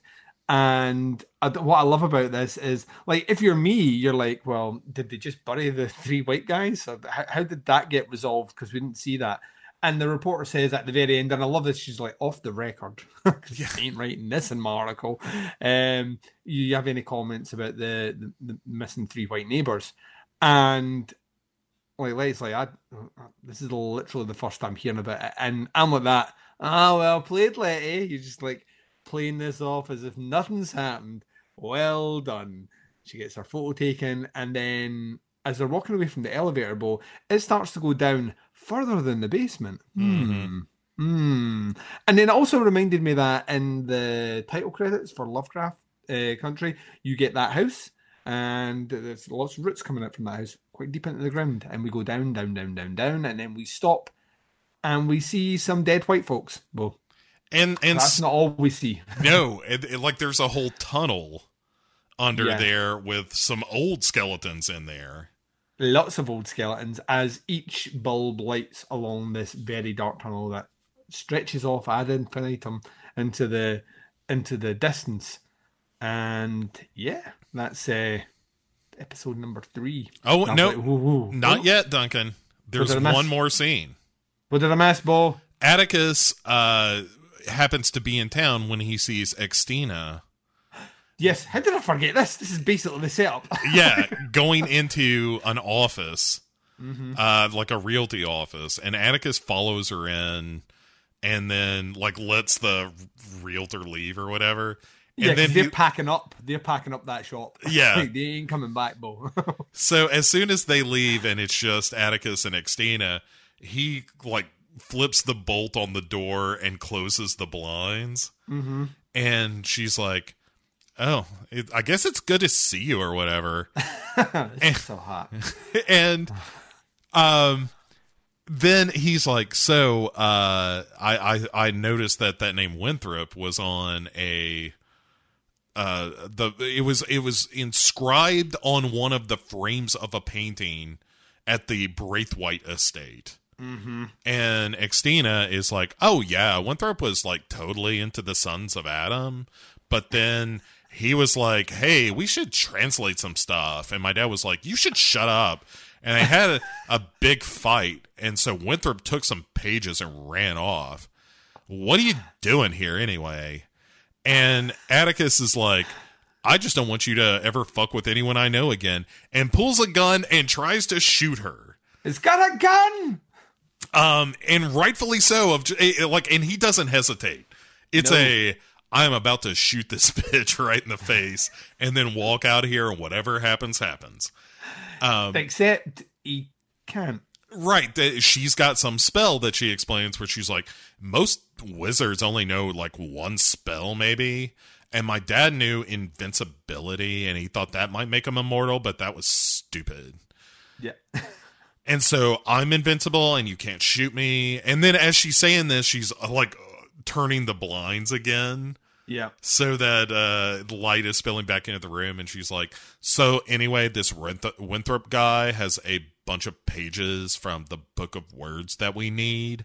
And so we're going to find them and then we can translate them. And there's going to be all kinds of spells. And at, at the end of it, she kind of leaves Atticus frozen in place there. And she says, um, by the way, you should be more careful. You can't go around killing white women like that. And then leaves.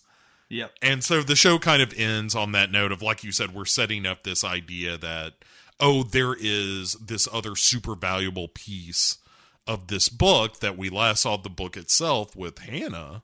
Yeah. Which now now I know what we're doing. Right. And there, so she's got the book of words. Winthrop has a piece of the pages of, from the book of words, w mm-hmm. you know, wherever those may be. And so the son, the sons of Adam, if they continue to be a thing, or if it's just Xtina and her crew Could be. trying to find this book, or well, these pages, because what she doesn't know that I think Atticus probably does is that Hannah had that book at the end. Yeah, he's seen it. So yeah. Ooh. So we're getting into a bunch of like ancient book shit, and in fact, in the second episode, they name drop the Necronomicon, mm-hmm. and and they're like, no, no, no, that's not the book we're talking about here. That that's the names of the the dead.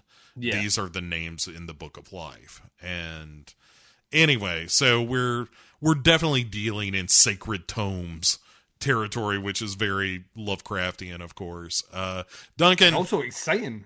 yeah, that's what I was going to ask. So now that we've reached the end of the third episode, what did you think about uh, the the episode three Holy Ghost? I thought it was fucking brilliant. And once again, like if we're taking this that each episode may be uh, premised on a kind of anthology basis where we're just going to tackle a different sort of horror thing, um, but have a link through maybe you know bookend in each episode which links it to the overall mystery. I'm cool with that. And if anything, that's that's leaning towards the old uh, X Files, you know, monster of the week sort of setup in that you know we have we have an idea of what the the, the kind of master plan is but that doesn't mean that we can't just mix things up throughout the episodes and give you different things so far they've covered three different kind of horror templates and done them exceptionally well um and the more we get into it the more we're starting to see nods and connections to things not only in our world bo uh, and historical um relevance, but at the same time linked right back to things we're seeing in the show that people are saying or stuff that's in the background. So it's a very rich show uh, to watch. I thought uh, there was there was segments in this were- that were absolutely brilliant, and their kind of take on the you know Amityville sort of thing worked incredibly well. Um, the acting super, yeah, everything about it. Like this one maybe didn't have the same flair as the previous two, with being more kind of insular and almost one location based for its entirety, but it delivered it in a way which I thought, you know, and let's put it this way: Lovecraft Country is the most exciting show on the TV right now, um, by by a country mile. Yeah. Um, so I, I, I'm I'm not aware of anything else that I'm hearing the same sort of accolades be put against, and yeah, bring on episode number four. Um, so I can't wait to see where we go. Yeah, I and this was one I did not watch the coming next time on Lovecraft Country because I was like, you know what, Yeah. I'm I'm in your hands, Lovecraft Country. You have proven to me you don't have to tell a story about a remote estate, um, and and Shoggoths. You can do a haunted house story. I am lamb. Um, We need to do it, dude. We need to do it. yeah, it's again we can't talk about it on the air, but we will. No. Um, Yeah. look for that in, in store soon. Uh, but I, yeah, I think I think the show once again, you know, we talk about how the show just kind of moves with a swagger that it makes a lot of brave decisions and doesn't ever seem to question itself. And so it because it never apologizes for the decisions it makes, it never it never uh, moves by half measures Yeah. you know, with the the Jefferson theme or using a Nike commercial to open a church sequence, whatever. It it fits and it worked and it made the show better, and so that's what they do. It And- has the kind of cat to box mentality. If it fits, it sits. Um, Yeah. So, Yeah. uh, which I'm 100% down with. Yes. Do yeah, it, it's just it, it feels uh, like one of the most like creative and interesting shows. And even if it ever wavers to being didactic or whatever, uh, which I don't think it really has, but I I think it, even if it does for a moment, I'm willing to excuse that because it still gets down with the scares. Like the ghost stuff is legit good. Yeah. Yeah. Agreed. Um, 100%. So yeah, I, I with you. I can't wait for more. Uh, Duncan, between now and then, we'll be back in a couple of weeks to talk about that. But uh, between now and then, what are you looking forward to watching before uh, we get out of here? And uh, and while you're at it, go ahead and pimp your shit. Um, I will be. I'm watching a TV show called The Stranger. I just started it today, so I will have finished that. And then next on my list, I'm bumping it up, The Haunting of Hill House. So when we record in two weeks' time to do episodes four and five, I will have watched that. So that is a 100% Duncan guaranteed, definite. Um, I'm so yeah. excited for that. I can't. I can't I wait to can't talk wait. to you about be, because I genuinely want to talk to you about some of the characters and and and get your uh get your read on them. Yeah, Um, I, I mean it's going to happen, and yeah, I've I've been told episode six I think is the one that will make me shit my pants, and I'm 100 percent happy with that. That's fucking Um, good. No, that like there is a middle sequence. Like the first episode is is very much a oh okay this is what this is okay. Um, then th- it builds to like that sixth or seventh episode where it's just like how in the fuck are they going to end this thing? And then you get to the end, it's like oh okay well that's how they're going to end it. And and it's not as enthusiastic because the highs are so dizzying in the middle of that s- series where it's just like how in the fuck can you top this? And it's like well you can't. This is this is as good as it gets. But uh, it's still really good and satisfying. It's uh, you know, it's it's good Mike Flanagan and Mike Flanagan I think as Doctor Sleep, the director's cut has shown us, um, the the more space you give him to tell a story, it turns out he just makes the story better. Yeah, I'm really looking forward to it. That'll be that'll be ticked off the list for sure. No doubt between now and then, Shudder will have dropped another couple of movies that will picked off as well. Um, but you can check out my thoughts, my musings on the various things that I'm checking out on podcast Under the Stairs. Everything to do with that show can be found on the website, which is tputscast.com. Well done, professionally uh, handled. Um, I'm gonna watch Impetigore. You've got me excited. I may watch that uh, not long after we we end this. yeah, discussion. drop me a line once you've watched it. Be interested just to your your initial cliff kind of cliff note review um, No. of that once you've done it. you son of a bitch. yeah, I, I will certainly let you know. Um, and uh, and and as for me, obviously, legionpodcasts.com is where you can find uh, pretty much everything I do. Um, Pick Six Movies uh, is one that I always mention that is now in its 13th season, where we are talking about the uh, the movies of uh, the, the James Bond series and doing uh, one with each actor. That's a good move. Yeah, well, uh, it turns out we can only do this season once, though, because of one of the James Bonds was only in one fucking movie. Well, yeah, um, yeah, uh, I guess we could slip in like David Niven or something for. Yeah. I don't know if I like George Lazenby as a, a James Bond either. If I'm honest, I don't like anybody as a James Bond as it happens. that's the wrong approach. I- Sean Connery's a fucking national treasure, and you will shut your whole mouth. yeah. Listen, I hope a little sexual assault isn't isn't too Oh, yeah, out of line, yeah, yeah, yeah. He didn't do it in every movie. dude. Uh, we watched Goldfinger. Right, that's a bad one to go. right when, when he's in the barn with Pussy Galore uh when he's in the barn with her and It's just like, how about I just sit on top of you until you like it? how about you like? How about you do that, pushy? Um, it's like that movie is gross. uncomfortable. Yeah, it's uncomfortable. Most of the Bond movies are uncomfortable. Yeah. uh, in that in that in that realm. Um, And Yeah. yeah, and I and he's it, the best Bond though, and I'll not hear a word against that. I don't. Uh, no, I don't think that's wrong. I I think he is the best, the best actor to kind of encapsulate that role. Mm. And I I think what I've learned is I just don't like that character. No, no, oh no, no. But then, mm, yeah, written in a time period and by a man who's. mm.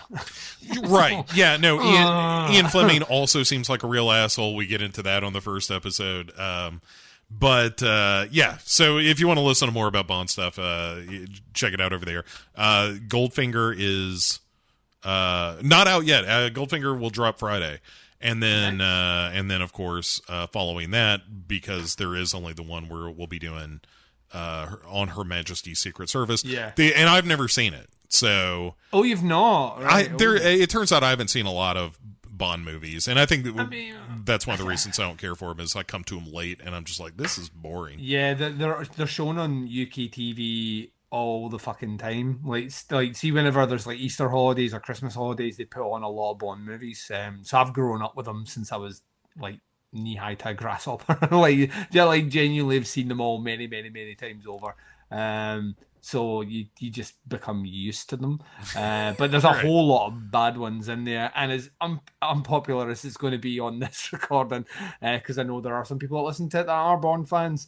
Not a big fan of uh, Roger Moore. He's he's maybe got some of the better Bond movies, but I don't like him as Bond. Uh, I'm a, I, I will always always root for Timothy Dalton. I think some of the Timothy Dalton ones in the eighties are fucking legit good. Um, and he always looks like he's like uh, every every Dalton appearance, he's either just been fired from the Secret Service or is about to tender his resignation. um, like every single one of them, uh, he's uh, the, every single representation he's in there. He's like the cop who's about to get you. Give me your badge, Gabrowski. you can have my badge, Chief. You know, is is every single one of them, but for whatever reason, he, he brings an intensity and a bit of youth, uh, which is really really good. I'm, I'm I, I'm looking forward to, to rolling through your season and uh, and hearing you shit on movies that basically built the backbone of British cinema. Sure. Uh, so- Oh yeah, there's plenty of that. oh, show Goldfinger. You don't. Uh, the- one of my you favorite things. me to, you expect me to no, Mister Bond. I expect you to die. My my uh, here's my a- absolute favorite thing about Goldfinger is that before James Bond fucks anybody in that movie, he's like, "Show, do you fuck Goldfinger?" I'm not going to be Eskimo brothers with that fat son of a bitch. I'll tell you that much right now. But like he does it with the girl who's helping Goldfinger with the cards at the beginning, and he does it again with Pussy Galore. He, both women, he's like, "Is that all you do for Goldfinger?" Because I'm telling you, if he's put his Goldfinger up in that snatch, there's no play for James. Not taking, not not taking the sloppy seconds of that German bastard. you can get the you can get the, the Bond, but not the James. Yeah, Um, yeah, As, yeah. There's a lot. Yeah, that that of- shit makes British cinema in the '60s and '70s, Bo. It is literally brimming to overflowing with sexual innuendo and tension, but a stiff upper lip that will not give you it. Yeah.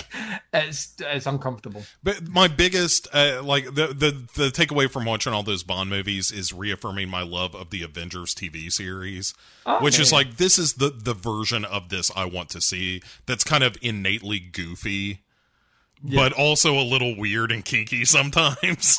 Yeah, So- the- but it's the same when you watch things like The Saint as well. Yeah. The Saint, the TV show from that time period. It's, it's it, that I mean, they're because they're on TV. There's less of that, if you know what I mean. yeah. Um, but they did they pushed that a bit more in the movies.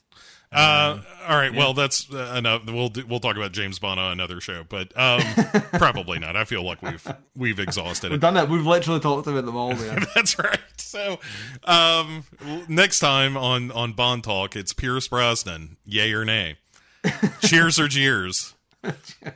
Hot or not. Yeah, cheers to Pierce Brosnan. Cheers to Timothy Dalton. thumbs down. yeah, you can take that ice castle and shove it right up his. Anyway, Um, Duncan, thank you so much. Uh, the, folks, thanks for listening. Uh, as always, like and rate and review and all that fun stuff. Nothing left to say but good night, Duncan. So say good night. Good night, Duncan. Yes, yes. You're not fooling me a second time, you son of a bitch. Foiled at last. At last. I don't know.